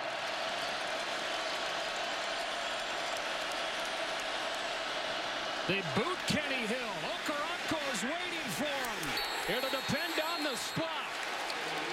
Parnell Motley and Obo Okoronkwo knock him out of bounds, and Oklahoma slams the door as TCU gets a little bit cute on fourth and inches. And this, to me, is something I hate. Look, you've got an open gap here, an open gap here. I know they're covered up, but you can find a way of getting yourself less than a yard. Why take the football back to then run a boot? You're not fooling anyone in that case. You're losing ground to try to gain ground. This Oklahoma defense has too much team speed, whether it was Okoronkwo or Motley. Needed a foot. Just don't like the play call. How about the game that Motley's had so far today? Yeah. Open field tackles. We see him recovering right then to stop the conversion. Oklahoma trying to make it hurt. How many times do you see teams sudden change, take shots in the middle part of the field? See what Oklahoma goes with on first and 10 from the 40. Conservatively. Anderson with a big hole off the right side for eight or nine. Look at the first half. Oklahoma was extremely balanced as far as their play calling, running and passing the football. Those runs in the first half start to weigh on you in the second half, that big offensive line. On second and short, they'll throw it deep. Marquise Brown behind the defense for an Oklahoma touchdown. And just like that, the Sooners have broken it open.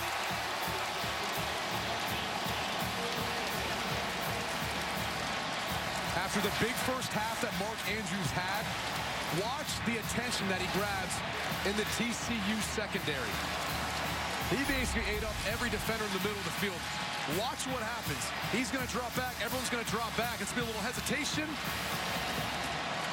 And then beating Issahaku downfield. And the problem for Issahaku was once he turned to look back after Brown got by him, you're never going to be able to catch up. You got to go find that wide receiver, get back to his hip, and then look to find the football. He flashes that golden smile, the grill. The guy that Gus Johnson nicknamed Hollywood Brown. No chance for Issahaku to keep up with a guy with legendary speed who's got a long touchdown. Baker Mayfield and the Sooners with a three-score lead.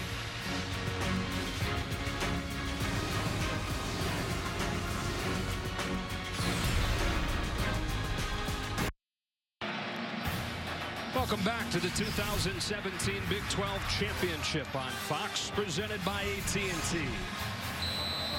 Just like that, the Sooners have exploded to a 38-14 17 lead, and Baker Mayfield has matched the Big 12 championship game record. Ell Roberson against Oklahoma back in 2003 had four himself, and we still got a long way to go in this one. Something tells me he's not done yet. Got a long day left in the kitchen for the Baker. You said you weren't going there again, but you did it. I didn't like this one as much. Touchback for Turpin. And where the momentum shifted incredibly in a three-play span. On fourth down and inches, Sonny Cumbie calls a boot. Kenny Hill gets popped out of bounds. Two plays later, Baker Mayfield with a 54-yard strike to Marquise Brown. Yeah, I love the, the play calling too aggressive after you're able to get the fourth down stop. You can see Hollywood Brown. He said that's a wrap. Running off the field. They, and that's the thing, I think, when, when you get a fourth down stop like that, you got to take the opportunity to put your foot on the gas and not allow TCU to get a sense of we can still hang around in this game. We've done it once. Opening the door for TCU to climb back in in a game that was 17 nothing after a quarter. Horn Frogs pulled it within 24-17 at the break. Off play action. Here's Turpin in the flat. Cut it back with a block. And pile driven down by Steven Parker after a nice first down game. For Kenny Hill and TCU, it's just continue to stay in that rhythm. You know, I, don't put that last drive on him. I think he was put in a tough position with the play call on fourth down.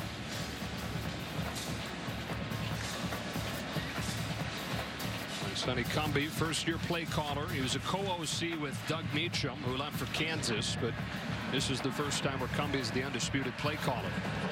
You got to give Gary Patterson and both Bob Stoops credit for going to Riley and Cumbie and opening things up for both teams' offenses. Screen for Desmond White. Got five.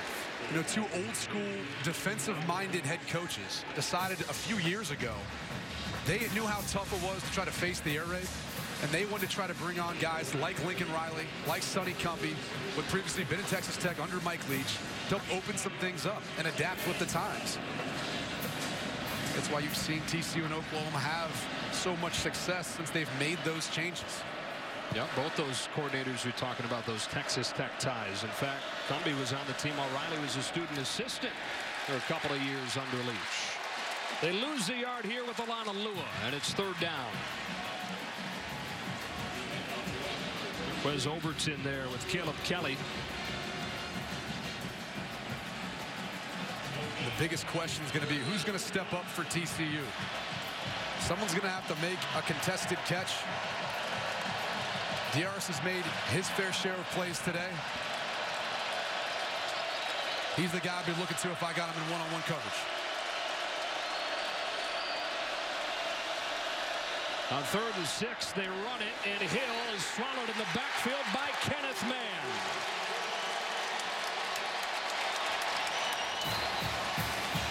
That's twice now. I mean, a third down play call. I don't know how you think a zone read is going to get it for you. And there's Kenneth Mann, and you can see at the snap of the football, he doesn't commit so much to the running back or turn his hips. And I think that's what fooled Kenny Hill into thinking that he could try to get by him. And I, I honestly don't know, even if he got by Mann, if there was going to be any room for him. Yeah, the Cardinals sin, right? The read man tackles you as a quarterback. It's the second time already in this half that they've had movement up front on a punt. But back to the play call. Even if even if you're running the Right. football and you're saying we're going to go for a False fourth start. down, Kicking team number 35. Five-yard penalty, fourth down. I mean, you're averaging 3.6 yards per carry so far today. I mean, that was what, third and 7 mm-hmm. I mean, that's not getting you there. And, and I'm not sure why you'd be so conservative at this point in the game. I'll remind people, Kenny Hill's 22 of 30 with a couple touchdown passes, no picks. Could have had one in the very beginning of it, but it was dropped. Either way, he's played well enough where I think you can put more pressure on his shoulders. Andrew David, Michigan transfer. Got a big leg. This is a good punt. CeeDee Lamb, a fair catch. At his own 20. It's a 45-yarder in Oklahoma's offense, which has shown its quick strike ability in this second half so far. Back out there.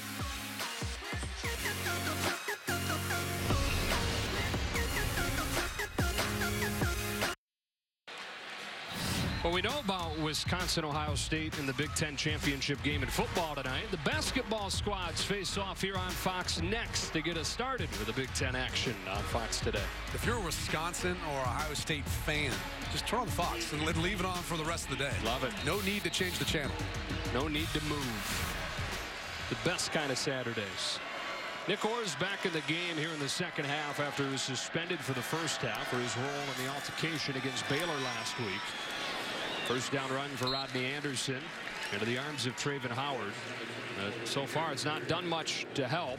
First two drives, three plays, 114 yards, and two touchdowns for Oklahoma since the break.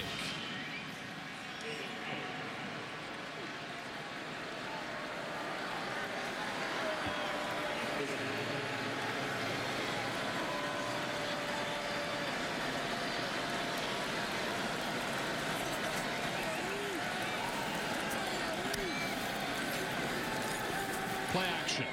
Another throw for Mark Andrews and a first down to the 40. Beating Nick Orr. A gain of 17. There's a really good tight end that's here in Dallas. Jason Witten kind of reminds me more of, of Mark Andrews, or the other way around. Mark Andrews reminds me of Jason Witten. Look at the patience at his route. Sells it, sells it, and gets back outside on Nick Orr. I mean, this Oklahoma offense is so tough to stop because of their ability to run the football. It makes the RPOs, the play action so impactful that it's just tough on a defense. I mean, you're, you're constantly in that predicament of stopping the run and trying to cover guys downfield. Career high seven catches for Andrews now. Ty Summers popping Rodney Anderson. The Oklahoma, when they got out to that big lead against TCU on November 11, got a little bit conservative with the play calling in the second half. That's part of the reason why TCU was able to shut them down. Not been too conservative so far in this second half. Two long touchdowns. No, and if you're TCU and, and Gary Patterson, you got to start putting some pressure on Oklahoma. They did at times in the first half. They're going to need to make something happen. Fake to Anderson. Andrews wide open underneath. Instead, Brown downfield trying it again. And a pass interference penalty. Glad they never turned around and then just ran him over. Yeah, this will move it into TCU territory. This ball almost hit the Jumbotron. I mean, he threw that with so much Pass trajectory. Defense, number 12. 15-yard penalty from the previous spot. Automatic. First down. Yeah, Mayfield's going there all the way. I mean, you saw Mark Andrews. You noted that. He was open. And what about this? When Brown falls down, he almost has the opportunity to catch it. Yeah. On his back. Would have been ridiculous. But, but either way, you see the speed of Hollywood Brown. Saw earlier in the game. I mean, that's, again, it's so tough to defend this offense because they can hurt you in so many ways, and it forces your quarterbacks to play on islands. So they've got to win those one-on-one matchups.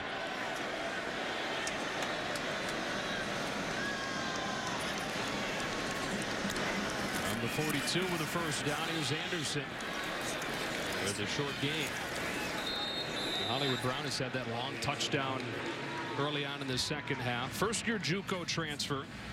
He was 125 pounds as a high school senior and was a late qualifier academically, so he took a semester off of high school.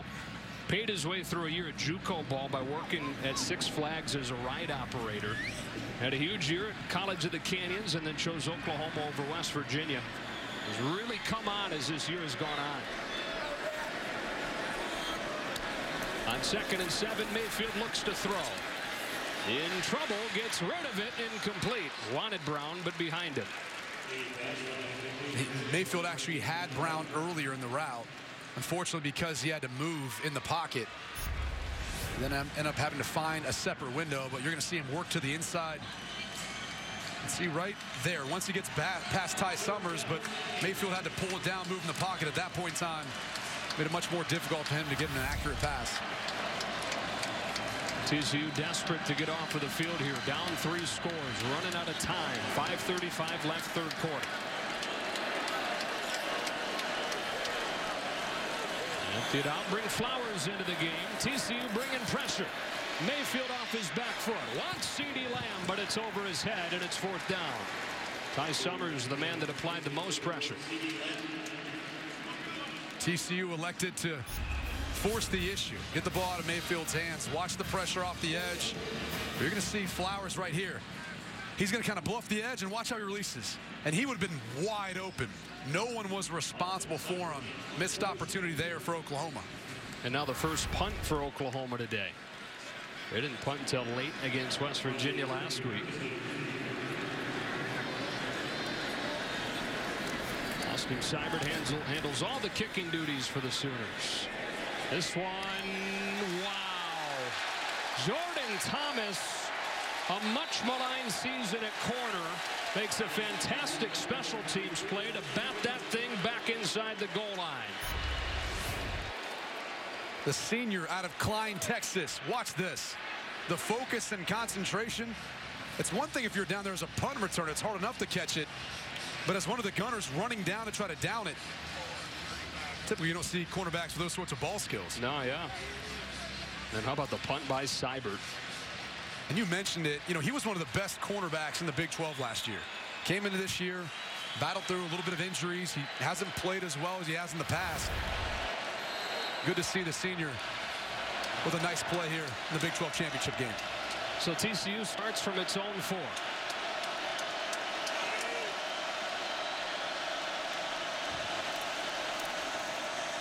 Play action.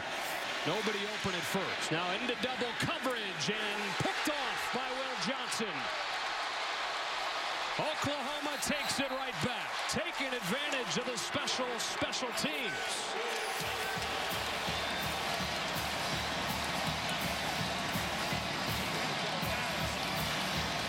And these are just the back-breaking decisions that you cannot make. He's going to eye up the quarterback the entire time.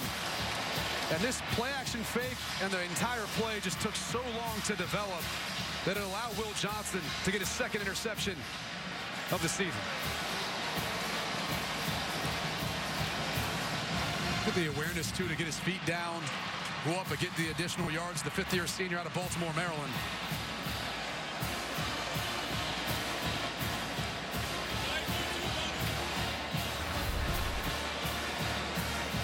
So Mayfield and the offense threatening to turn this thing into a route now. John Diar said no chance. But it's first down for Oklahoma at the TCU 17. We've seen Mark Andrews, the man who's been targeted so many times. One of two things to happen. I think they want to, one, try to run the football. But I wouldn't be shocked either if Dimitri Flowers didn't get involved. He's been good so far today in some of their pass pros, some of the running. The ruling on the field is confirmed. Interception, first down. So after saying they were going to take a look, it's confirmed. Sam Johnson got a foot down. Seemed pretty definitive. Yeah. It's good here. It's good here even on Sundays. Yeah, it is. Big 12's been aggressive, stopping for the replays, wanting to make sure they get it right. First down and 10 from the 17-yard line. Anderson. Leveled by Ty Summers.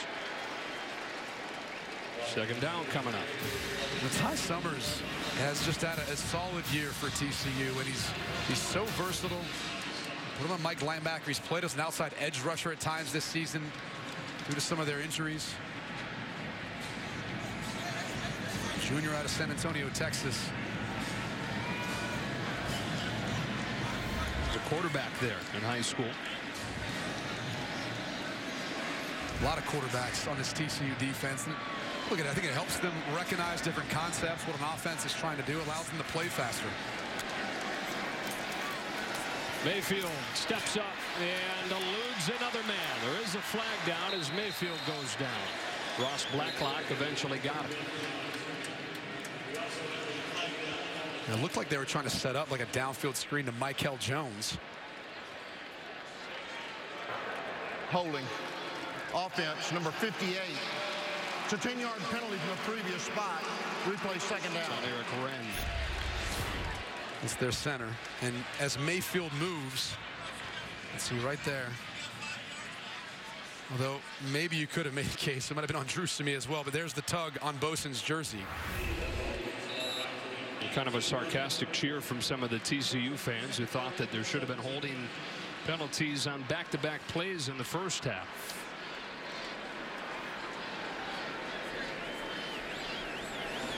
When's CeeDee Lamb going to show up to the party? Yeah. He's been working against Ranthony Texada. First team all Big 12. Better cornerbacks in this conference. Anderson blown up in the backfield by Mat Boesen. First team all conference in his first year as a starter for the Horned Frogs. What a game last week for him, oh, huh? Man. Five and a half sacks versus Baylor. It's a half sack shy of the NCAA record. They're going to need him here on third down. The Oklahoma coaching staff talked about him before the game, saying he's just relentless. The guy never gives up on plays. He's the type of guy you got to bring your lunch pail for, you know? He'll oh, be yeah. there all day.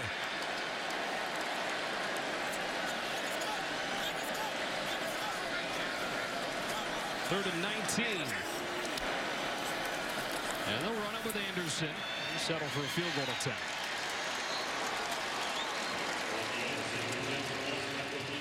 And that's a good stop by the TCU defense. Now, it came via a little bit of help getting a penalty, but all of a sudden give the football to Oklahoma, this dynamic offense, basically in the red zone. You'll settle for a field goal. Seibert's made one and missed one today. Made from 41, missed from 43 to snap a string of 12 makes in a row. In fact, it was his first miss since the Iowa State loss in early October. This one from 40. We'll only get a few seconds to snap it.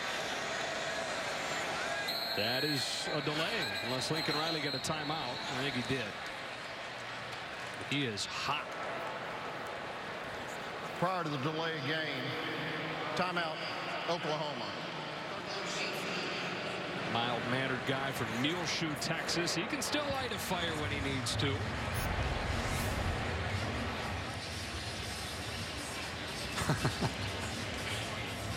you wonder as he gets older, does he calm down a little bit more? Maybe that doesn't bother him quite as much. Being up 21 points, but this team is trying to prepare for bigger things after this game. Obviously, don't want to make these sorts of mistakes. Eating up a timeout. So we take a look at Lincoln Riley's profile. Two years as the O coordinator was the Top coordinator in the country is the Broyles Award winner in his first year under Bob Stoops. And for the first time since 1998, somebody other than Big Game Bob roaming the sidelines.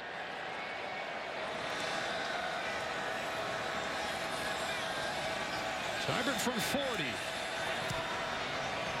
Right down the middle. So 41-17 lead for the Sooners, led by the Heisman favorite, Baker Mayfield. Hmm, I wonder who Brady's Heisman hopeful is.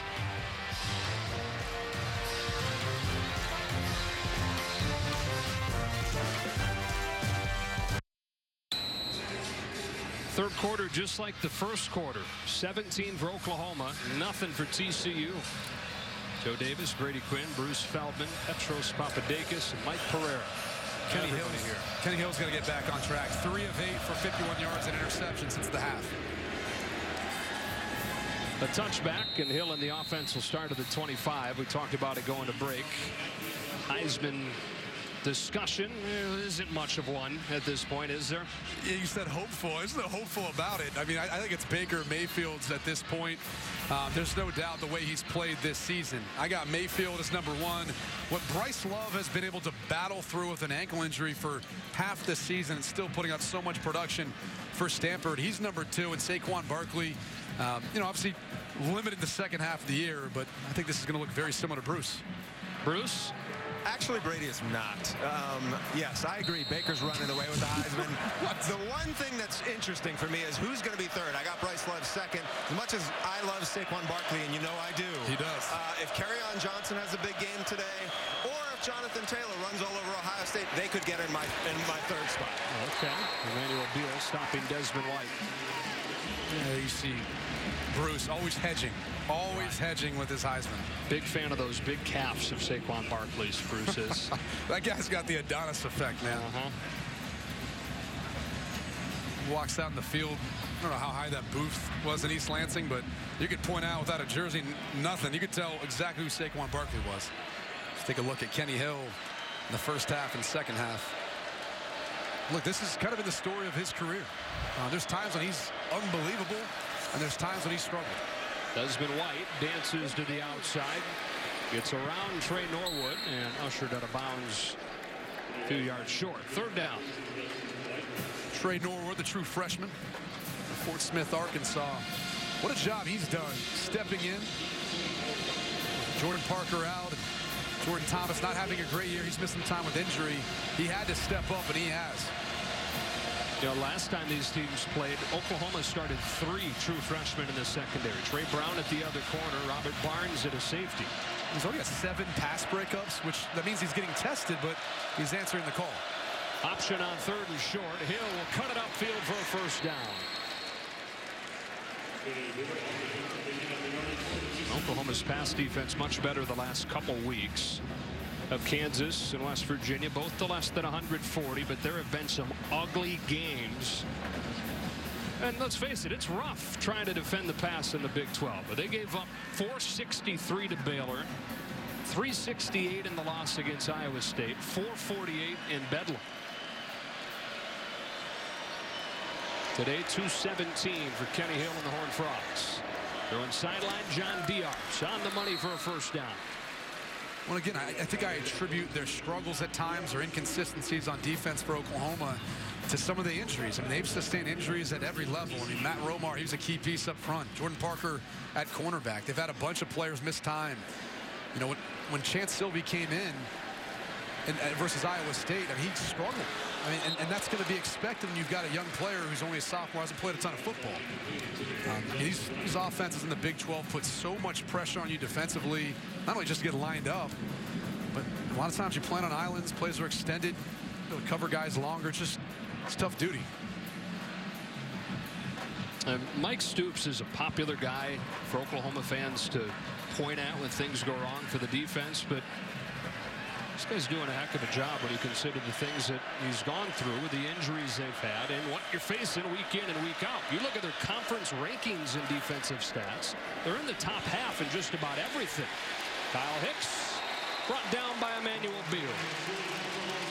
Emmanuel Beal was there, but Parnell Motley came flying up at the cornerback position to set the edge and basically turn back Hicks to Beal. Can't say enough about this young man, the way he's played so far today. Brings his third quarter to a close. Oklahoma with a repeat of the first quarter. Taking control of this Big 12 championship game and sending us to the fourth.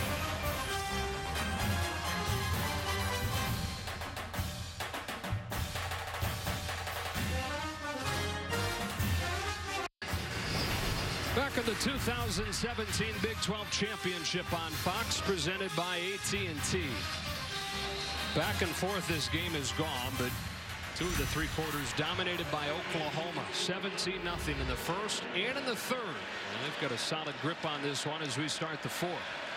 Joe Davis and Brady Quinn. Third down and long for Kenny Hill in this offense. Hill flushed out of the pocket. Can't find anybody open. And so gets it across midfield, but that's all. You consider going for it on fourth down at this point? I mean, you'd like to if you want to stay competitive, although the field position and how this Oklahoma offense has played this year, you're going to see TCU come out and punt. But in my opinion, there's just there's not enough time left. You got to value every possession. Kind of wish we would at least see them try to go for it you know, a, a, play that will be talked about a lot in the coming days was a fourth down play early on in the third quarter. Uh, fourth down and inches. Sonny Cumbie called a boot instead of a quarterback sneak. It was shut down. And two plays later, Baker Mayfield threw one of his four touchdown passes. Uh, he's been incredible. I mean, absolutely as efficient as we've seen all year long. I mean, even though they lost to Iowa State, he played well in that game. And it, it's just everything working for them right now. He's got his big tight end, Mark Andrews, but then it's buying time, be able to find Mykel Jones, East Brown. Doesn't matter who you want to mention. I mean, CeeDee Lamb's the only one who's been quiet, but they've had everything working for them so far today. It's been a little bit of the opposite of what we saw in the first matchup, where Rodney Anderson kind of took over early with the rushing attack. Today, it's been more of the passing attack. Baker Mayfield now tied second all-time with Dan LeFevour of Central Michigan, 150 touchdowns. Case Keenum comfortably in control of that record.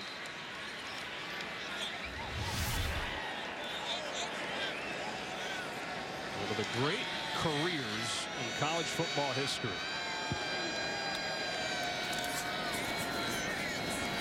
Anderson trying to get outside. TCU rallies and shuts him down. Sammy Douglas there for the tackle along with Corey Bethley.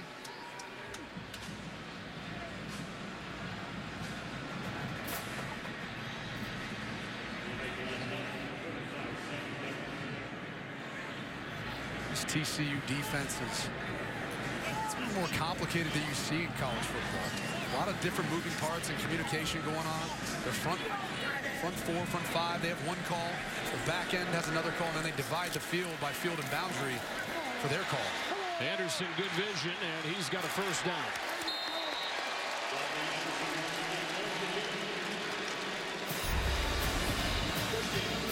This is the dominance of this Oklahoma offensive line. And it's just a simple zone scheme, inside zone, meaning they're working on their double teams up to the second level, trying to get some movement. Allowing Rodney Anderson the freedom to be able to find the hole, but dramatically different from what we saw them do versus TCU in their first matchup, where it was more gap schemes. And a gap scheme is essentially just attacking a, a particular gap. And a lot of the offensive linemen play side, block backside, and the backside offensive linemen pull to the play side to help attack that gap and create a hole. 77 yards for Anderson today. First down from the 21. Mayfield gives it to him again. And he gets five. Stopped by Ty Summers. We're talking about Mayfield.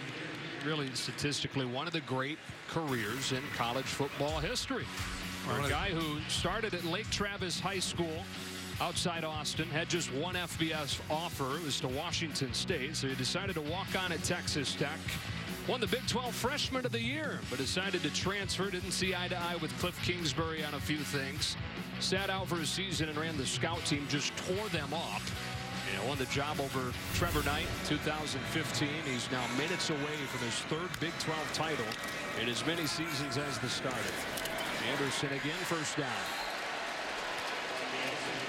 Think about his career as an Oklahoma quarterback. I mean, he's kind of attached or aligned with Lincoln Riley in his career since he got here to Oklahoma. It's been a system that has really played to the strengths of Baker May Mayfield's skill set.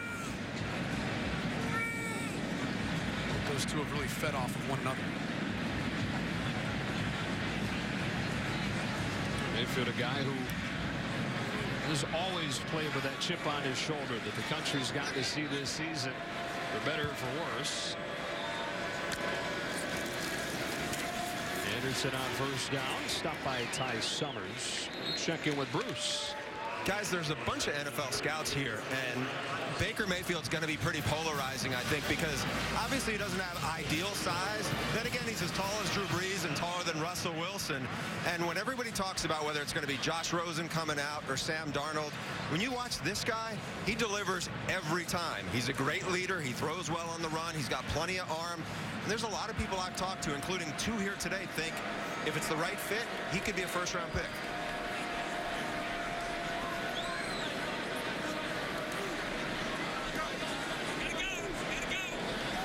Ready for the second and seven. Heavy dose of Anderson here. Not much there. And following up on that conversation, Bruce said it. Look, it's situation, circumstance. I think it's got to be the right offensive, you know, system and fit. Um, but you, you, look at the qualities that he has. I mean, look, he's got a lot of mobility. You've got to have that at the NFL level nowadays. He's incredibly accurate, not just from the pocket, but even on the run. Um, and that's not, that's not something that's easy to teach. I mean, if you don't have it by now, it's hard to develop that. And I think he makes everyone else around him better. I mean, you look at this group of wide receivers and pass catchers coming into this year, dramatic difference from the production they had last year. Throws this one incomplete and bring the punt team out with the pressure from L.J. Collier. The polarizing part is going to be, you know, some of that edginess, some of the things that we've seen him do, whether it's outside of, you know, football or on the sidelines like we saw in, in Lawrence, Kansas.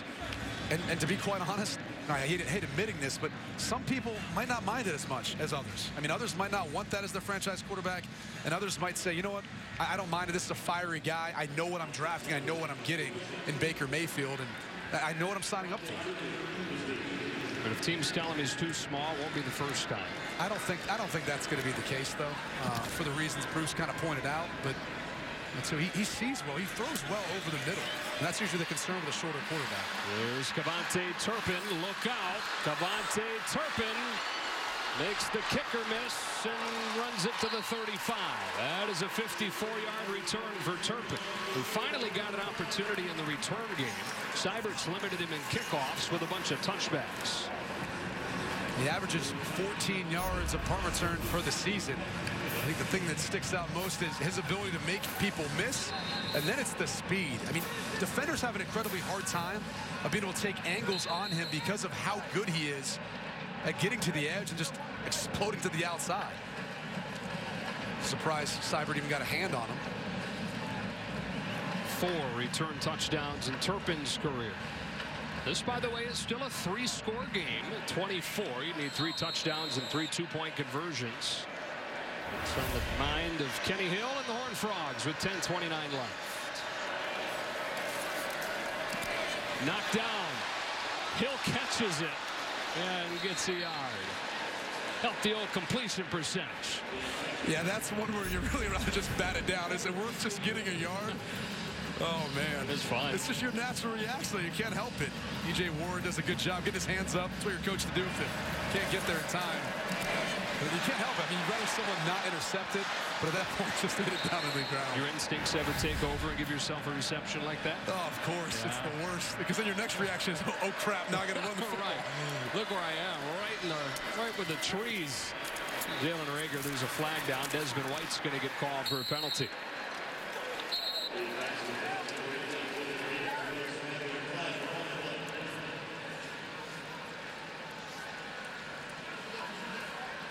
Mike Defee as the crew sorts it out. Guy's got some guns. Sure does, man. It's like my partner. Not afraid of the weight room. Nope. You see him there today? Uh, no. No, I didn't. They stayed on our hotel? I don't know. I'm always just exposing the fact you didn't get in there today. I bet Mike did. He sorted out. Is there a better crew to have in case there was some bad blood, potential fighting? No, yeah. Mike right. Defee, his crew. Start throwing bows. Look out. Personal foul. It'll go block below the waist. Offense number 10. 15-yard penalty. Replay second down.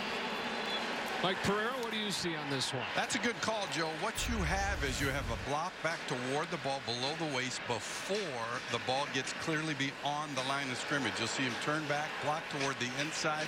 Ball still at the line of scrimmage. That what makes it makes that illegal.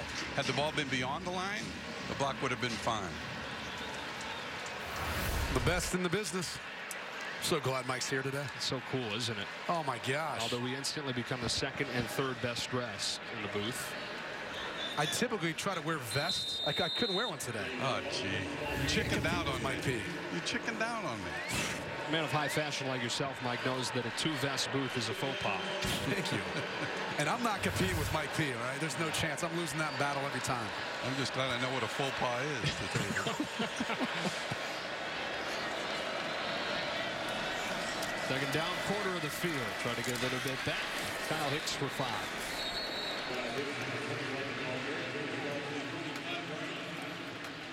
And this is where if you're TC, you've got to pick up the tempo. You had mentioned it, only down three scores now. Three scores and three two-point conversions, but traditionally they run a play about every 27 seconds. And that's actually towards the bottom of the Big 12. Everyone knows how fast these offenses typically operate. Third down, that's usually when things slow down, especially when you're in third and long like TCU is here. But at some point, you got to go in that two-minute mode. You don't have much time left in this ball game. Here's third and 19 with Olonilua motioning out. Turpin on the screen. Nowhere to go. Will Johnson drops him after a gain of three. What a day Will Johnson's had. I mean, he's been all over the field, not only in the run game, but coming up to make stops on some of these screens in the pass game. Eight tackles to go along with that interception. I said it earlier, smartest player in this secondary for Oklahoma. Helps get everyone lined up. Mike Stoops has so much confidence in him. Relying on him to make sure everyone's in the right place. TCU on fourth and 17. They're waving the proverbial white flag here. Sending it away with Nunez. TCU unable to do what Oklahoma did successfully earlier in this half. That's a touchback. Baker Mayfield and the Sooners minutes away from probably punching that ticket to the college football playoff.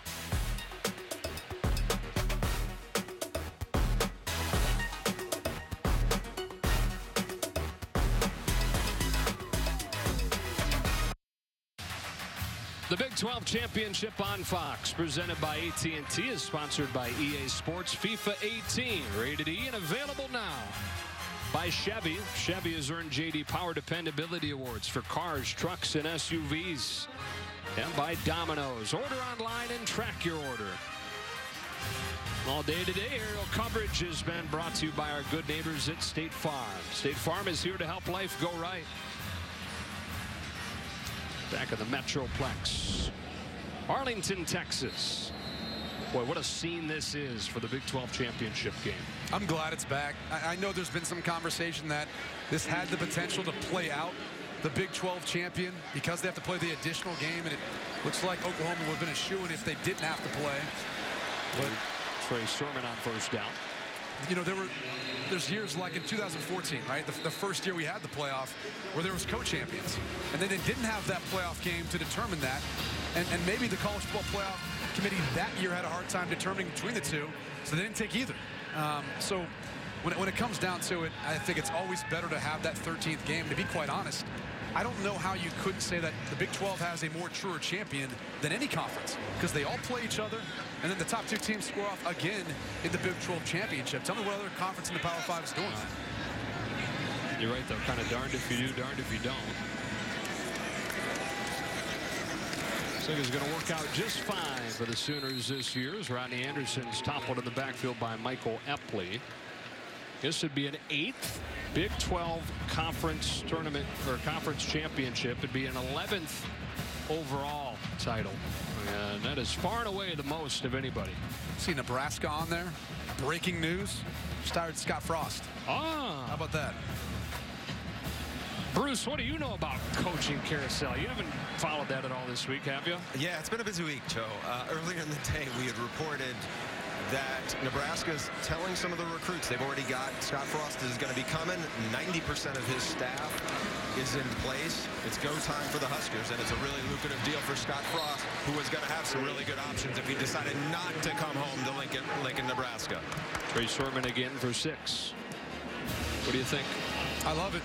You know, look, he's one of those young, up-and-coming coaches that I think he brings the energy, knows how to recruit. You can implement an offensive style and system that will be conducive to Nebraska being competitive again.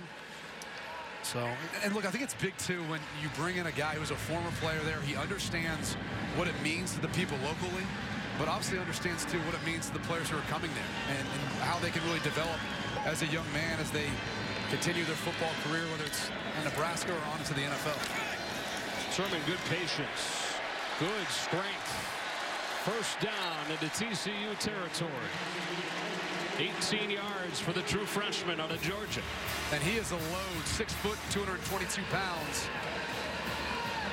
See why early on this season they tried to get Trey Sermon a bunch of touches. Heck, they even let him throw the football at times. He's got a halfback pass in there.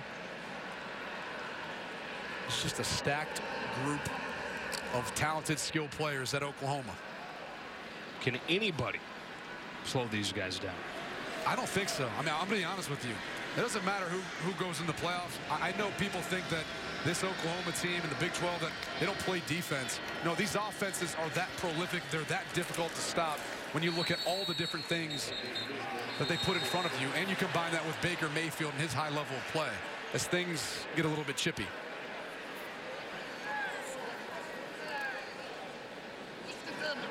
And credit to Mike Defee and this crew, though, that, as you see him laying the law down.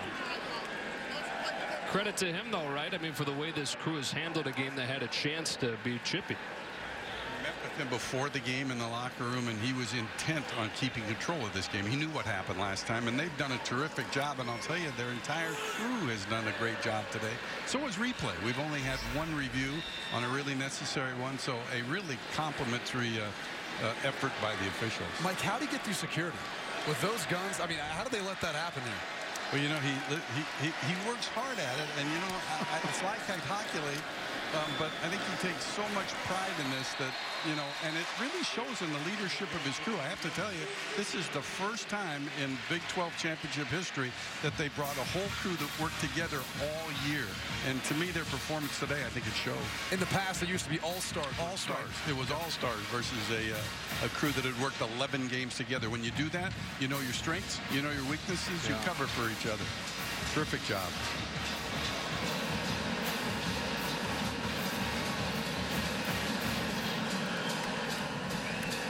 Another good run for Trey Sermon. Oklahoma with the first down at the 40 or the 35. Sermon again. Punishing run across the 30. Take a look at our expectation shattering drive of the game sponsored by Buick and really it's a three-play stretch where this game turned. Yeah, they have the fourth and inches and instead of just running the quarterback sneak they try a naked boot and Oklahoma the ensuing drive is able to capitalize. The big touchdown pass to Hollywood Brown. And I say turn, but really that's when the thing was put on ice. You know, Oklahoma had a two-score lead at that point. TCU had a chance to drive down and cut it to a touchdown, and instead, two plays later, they trailed by three scores. Coming into this game, Oklahoma had 104 plays of 20-plus yard games, and that, that's unheard of. And this offense is almost averaging like nine yards on, for, on gained first downs. I mean, it's ridiculous to think what they've been able to accomplish this year. And even when you take into account having to play TCU, the best defense in the Big 12 twice.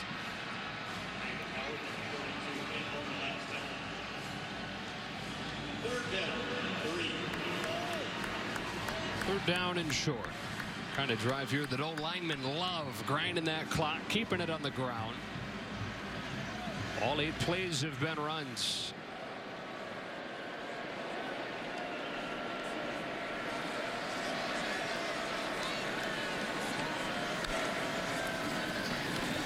Sermon again.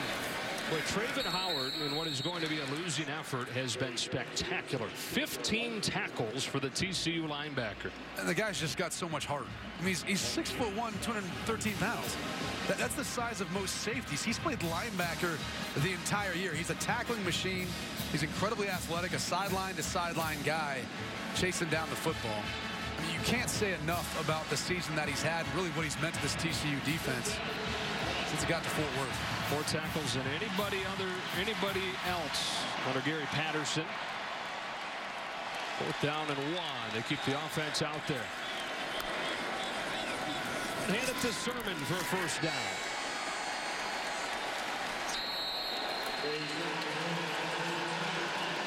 Our AT&T play of the game goes all the way back to the first TCU play of the day. Oklahoma had a field goal on its first possession, but then on TCU's first play from scrimmage, Caleb Kelly scoop and score off a Kyle Hicks fumble. They brought a blitz off the edge, and Caleb Kelly wisely continued to follow the play, and he was rewarded. A big mistake by Kyle Hicks, putting that football on the inside arm, not on the outside arm, and allowed Bledsoe to be able to knock the football out and then Kelly with a touchdown. And Lincoln Riley doused is the first coach, the youngest coach to take his team to a conference championship game. Only coach Delay ever to do that in his first season. Offense. Five-yard penalty, first down. And now he's going to win it. And think about Bob Stoops in his career at Oklahoma. Won a national championship in his second year. Could Lincoln Riley win it in his first year? You know, he'll be only the fifth coach in FBS history to get 12 wins in a debut season and a chance at two more in the playoff. Chris Petersen, Tom Herman, Larry Coker, Bret Bielema, the group that he joins as they start to run the clock out.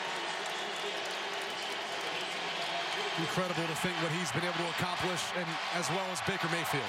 Over the course of his career at Oklahoma, He's going to go down as one of the more prolific passers in their school's history, but the way he performed, I mean, the young man just wins. Fueled by all the times he's been told he's too small, too slow, not this, not that. Goes all the way back to the days he used to lose the family games of horse out in the driveway to his brother and his mom and his dad, and then his days in junior high where he had to crow hop it just to get the ball downfield. Fueled by all those times. And here he is with a third Big 12 title. Now, all that's left, the details. Oklahoma has the college football playoff in its sights.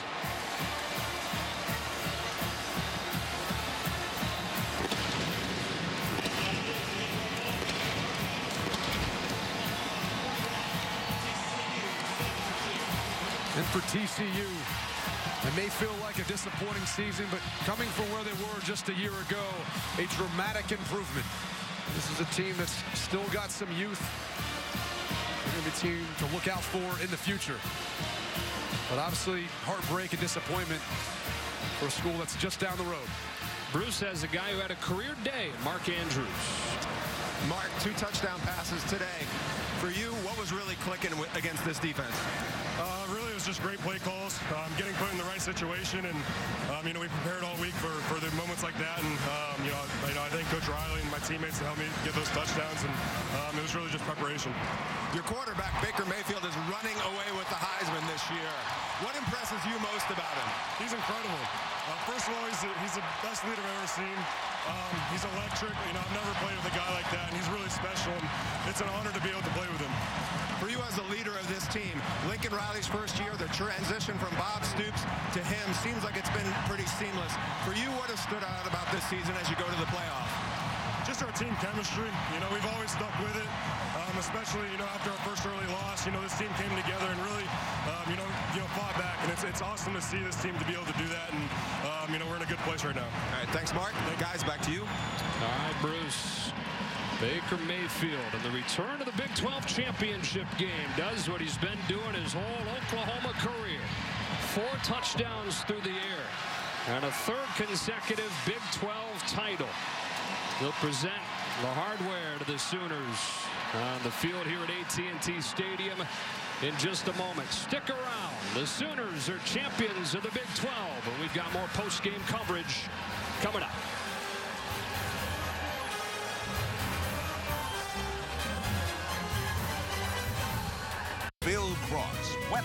Heartland Regional Emmy, only on Fox 25. The Big 12 Championship on Fox, presented by AT&T, is sponsored by State Farm, here to help life go right. Back here in Arlington, and a trophy that was made in Oklahoma We'll head back to Oklahoma for the presentation down to Petros. All right, it is time to hand out some hardware, ladies and gentlemen.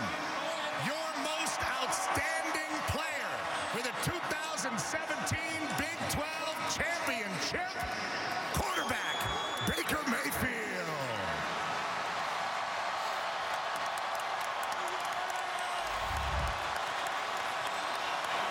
Baker, what can you say about the year this team has had and what you guys have put together?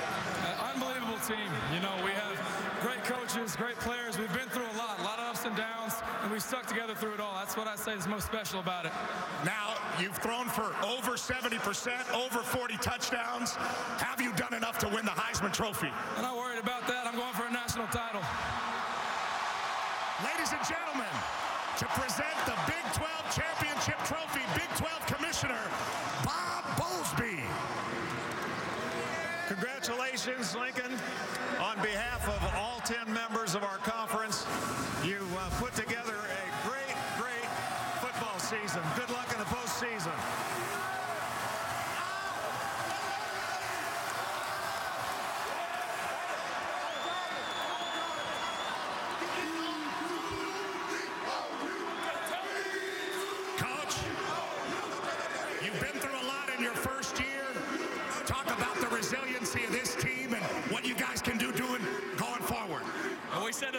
You know, early in the season, we weren't good at many things, but we're good at winning football games.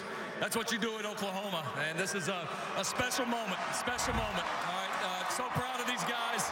We're going to enjoy this one here tonight, and then uh, we got bigger things to come. How do you start to prepare for the championship? When does that begin? After we celebrate this one. You enjoy it, Coach. Congratulations.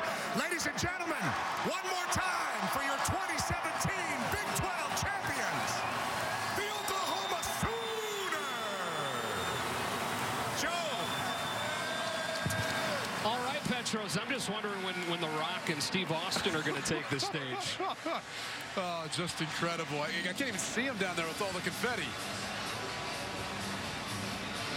So the Sooners, by blanking TCU in the first, blanking TCU in the third, and exploding in both those corners, quarters, control this one handily and win the Big 12 championship. Their third in a row. It was fun having the Big 12 championship game back. 41-17 the final. We'll get you back to Rob Stone in Los Angeles for more post-game coverage right after these messages.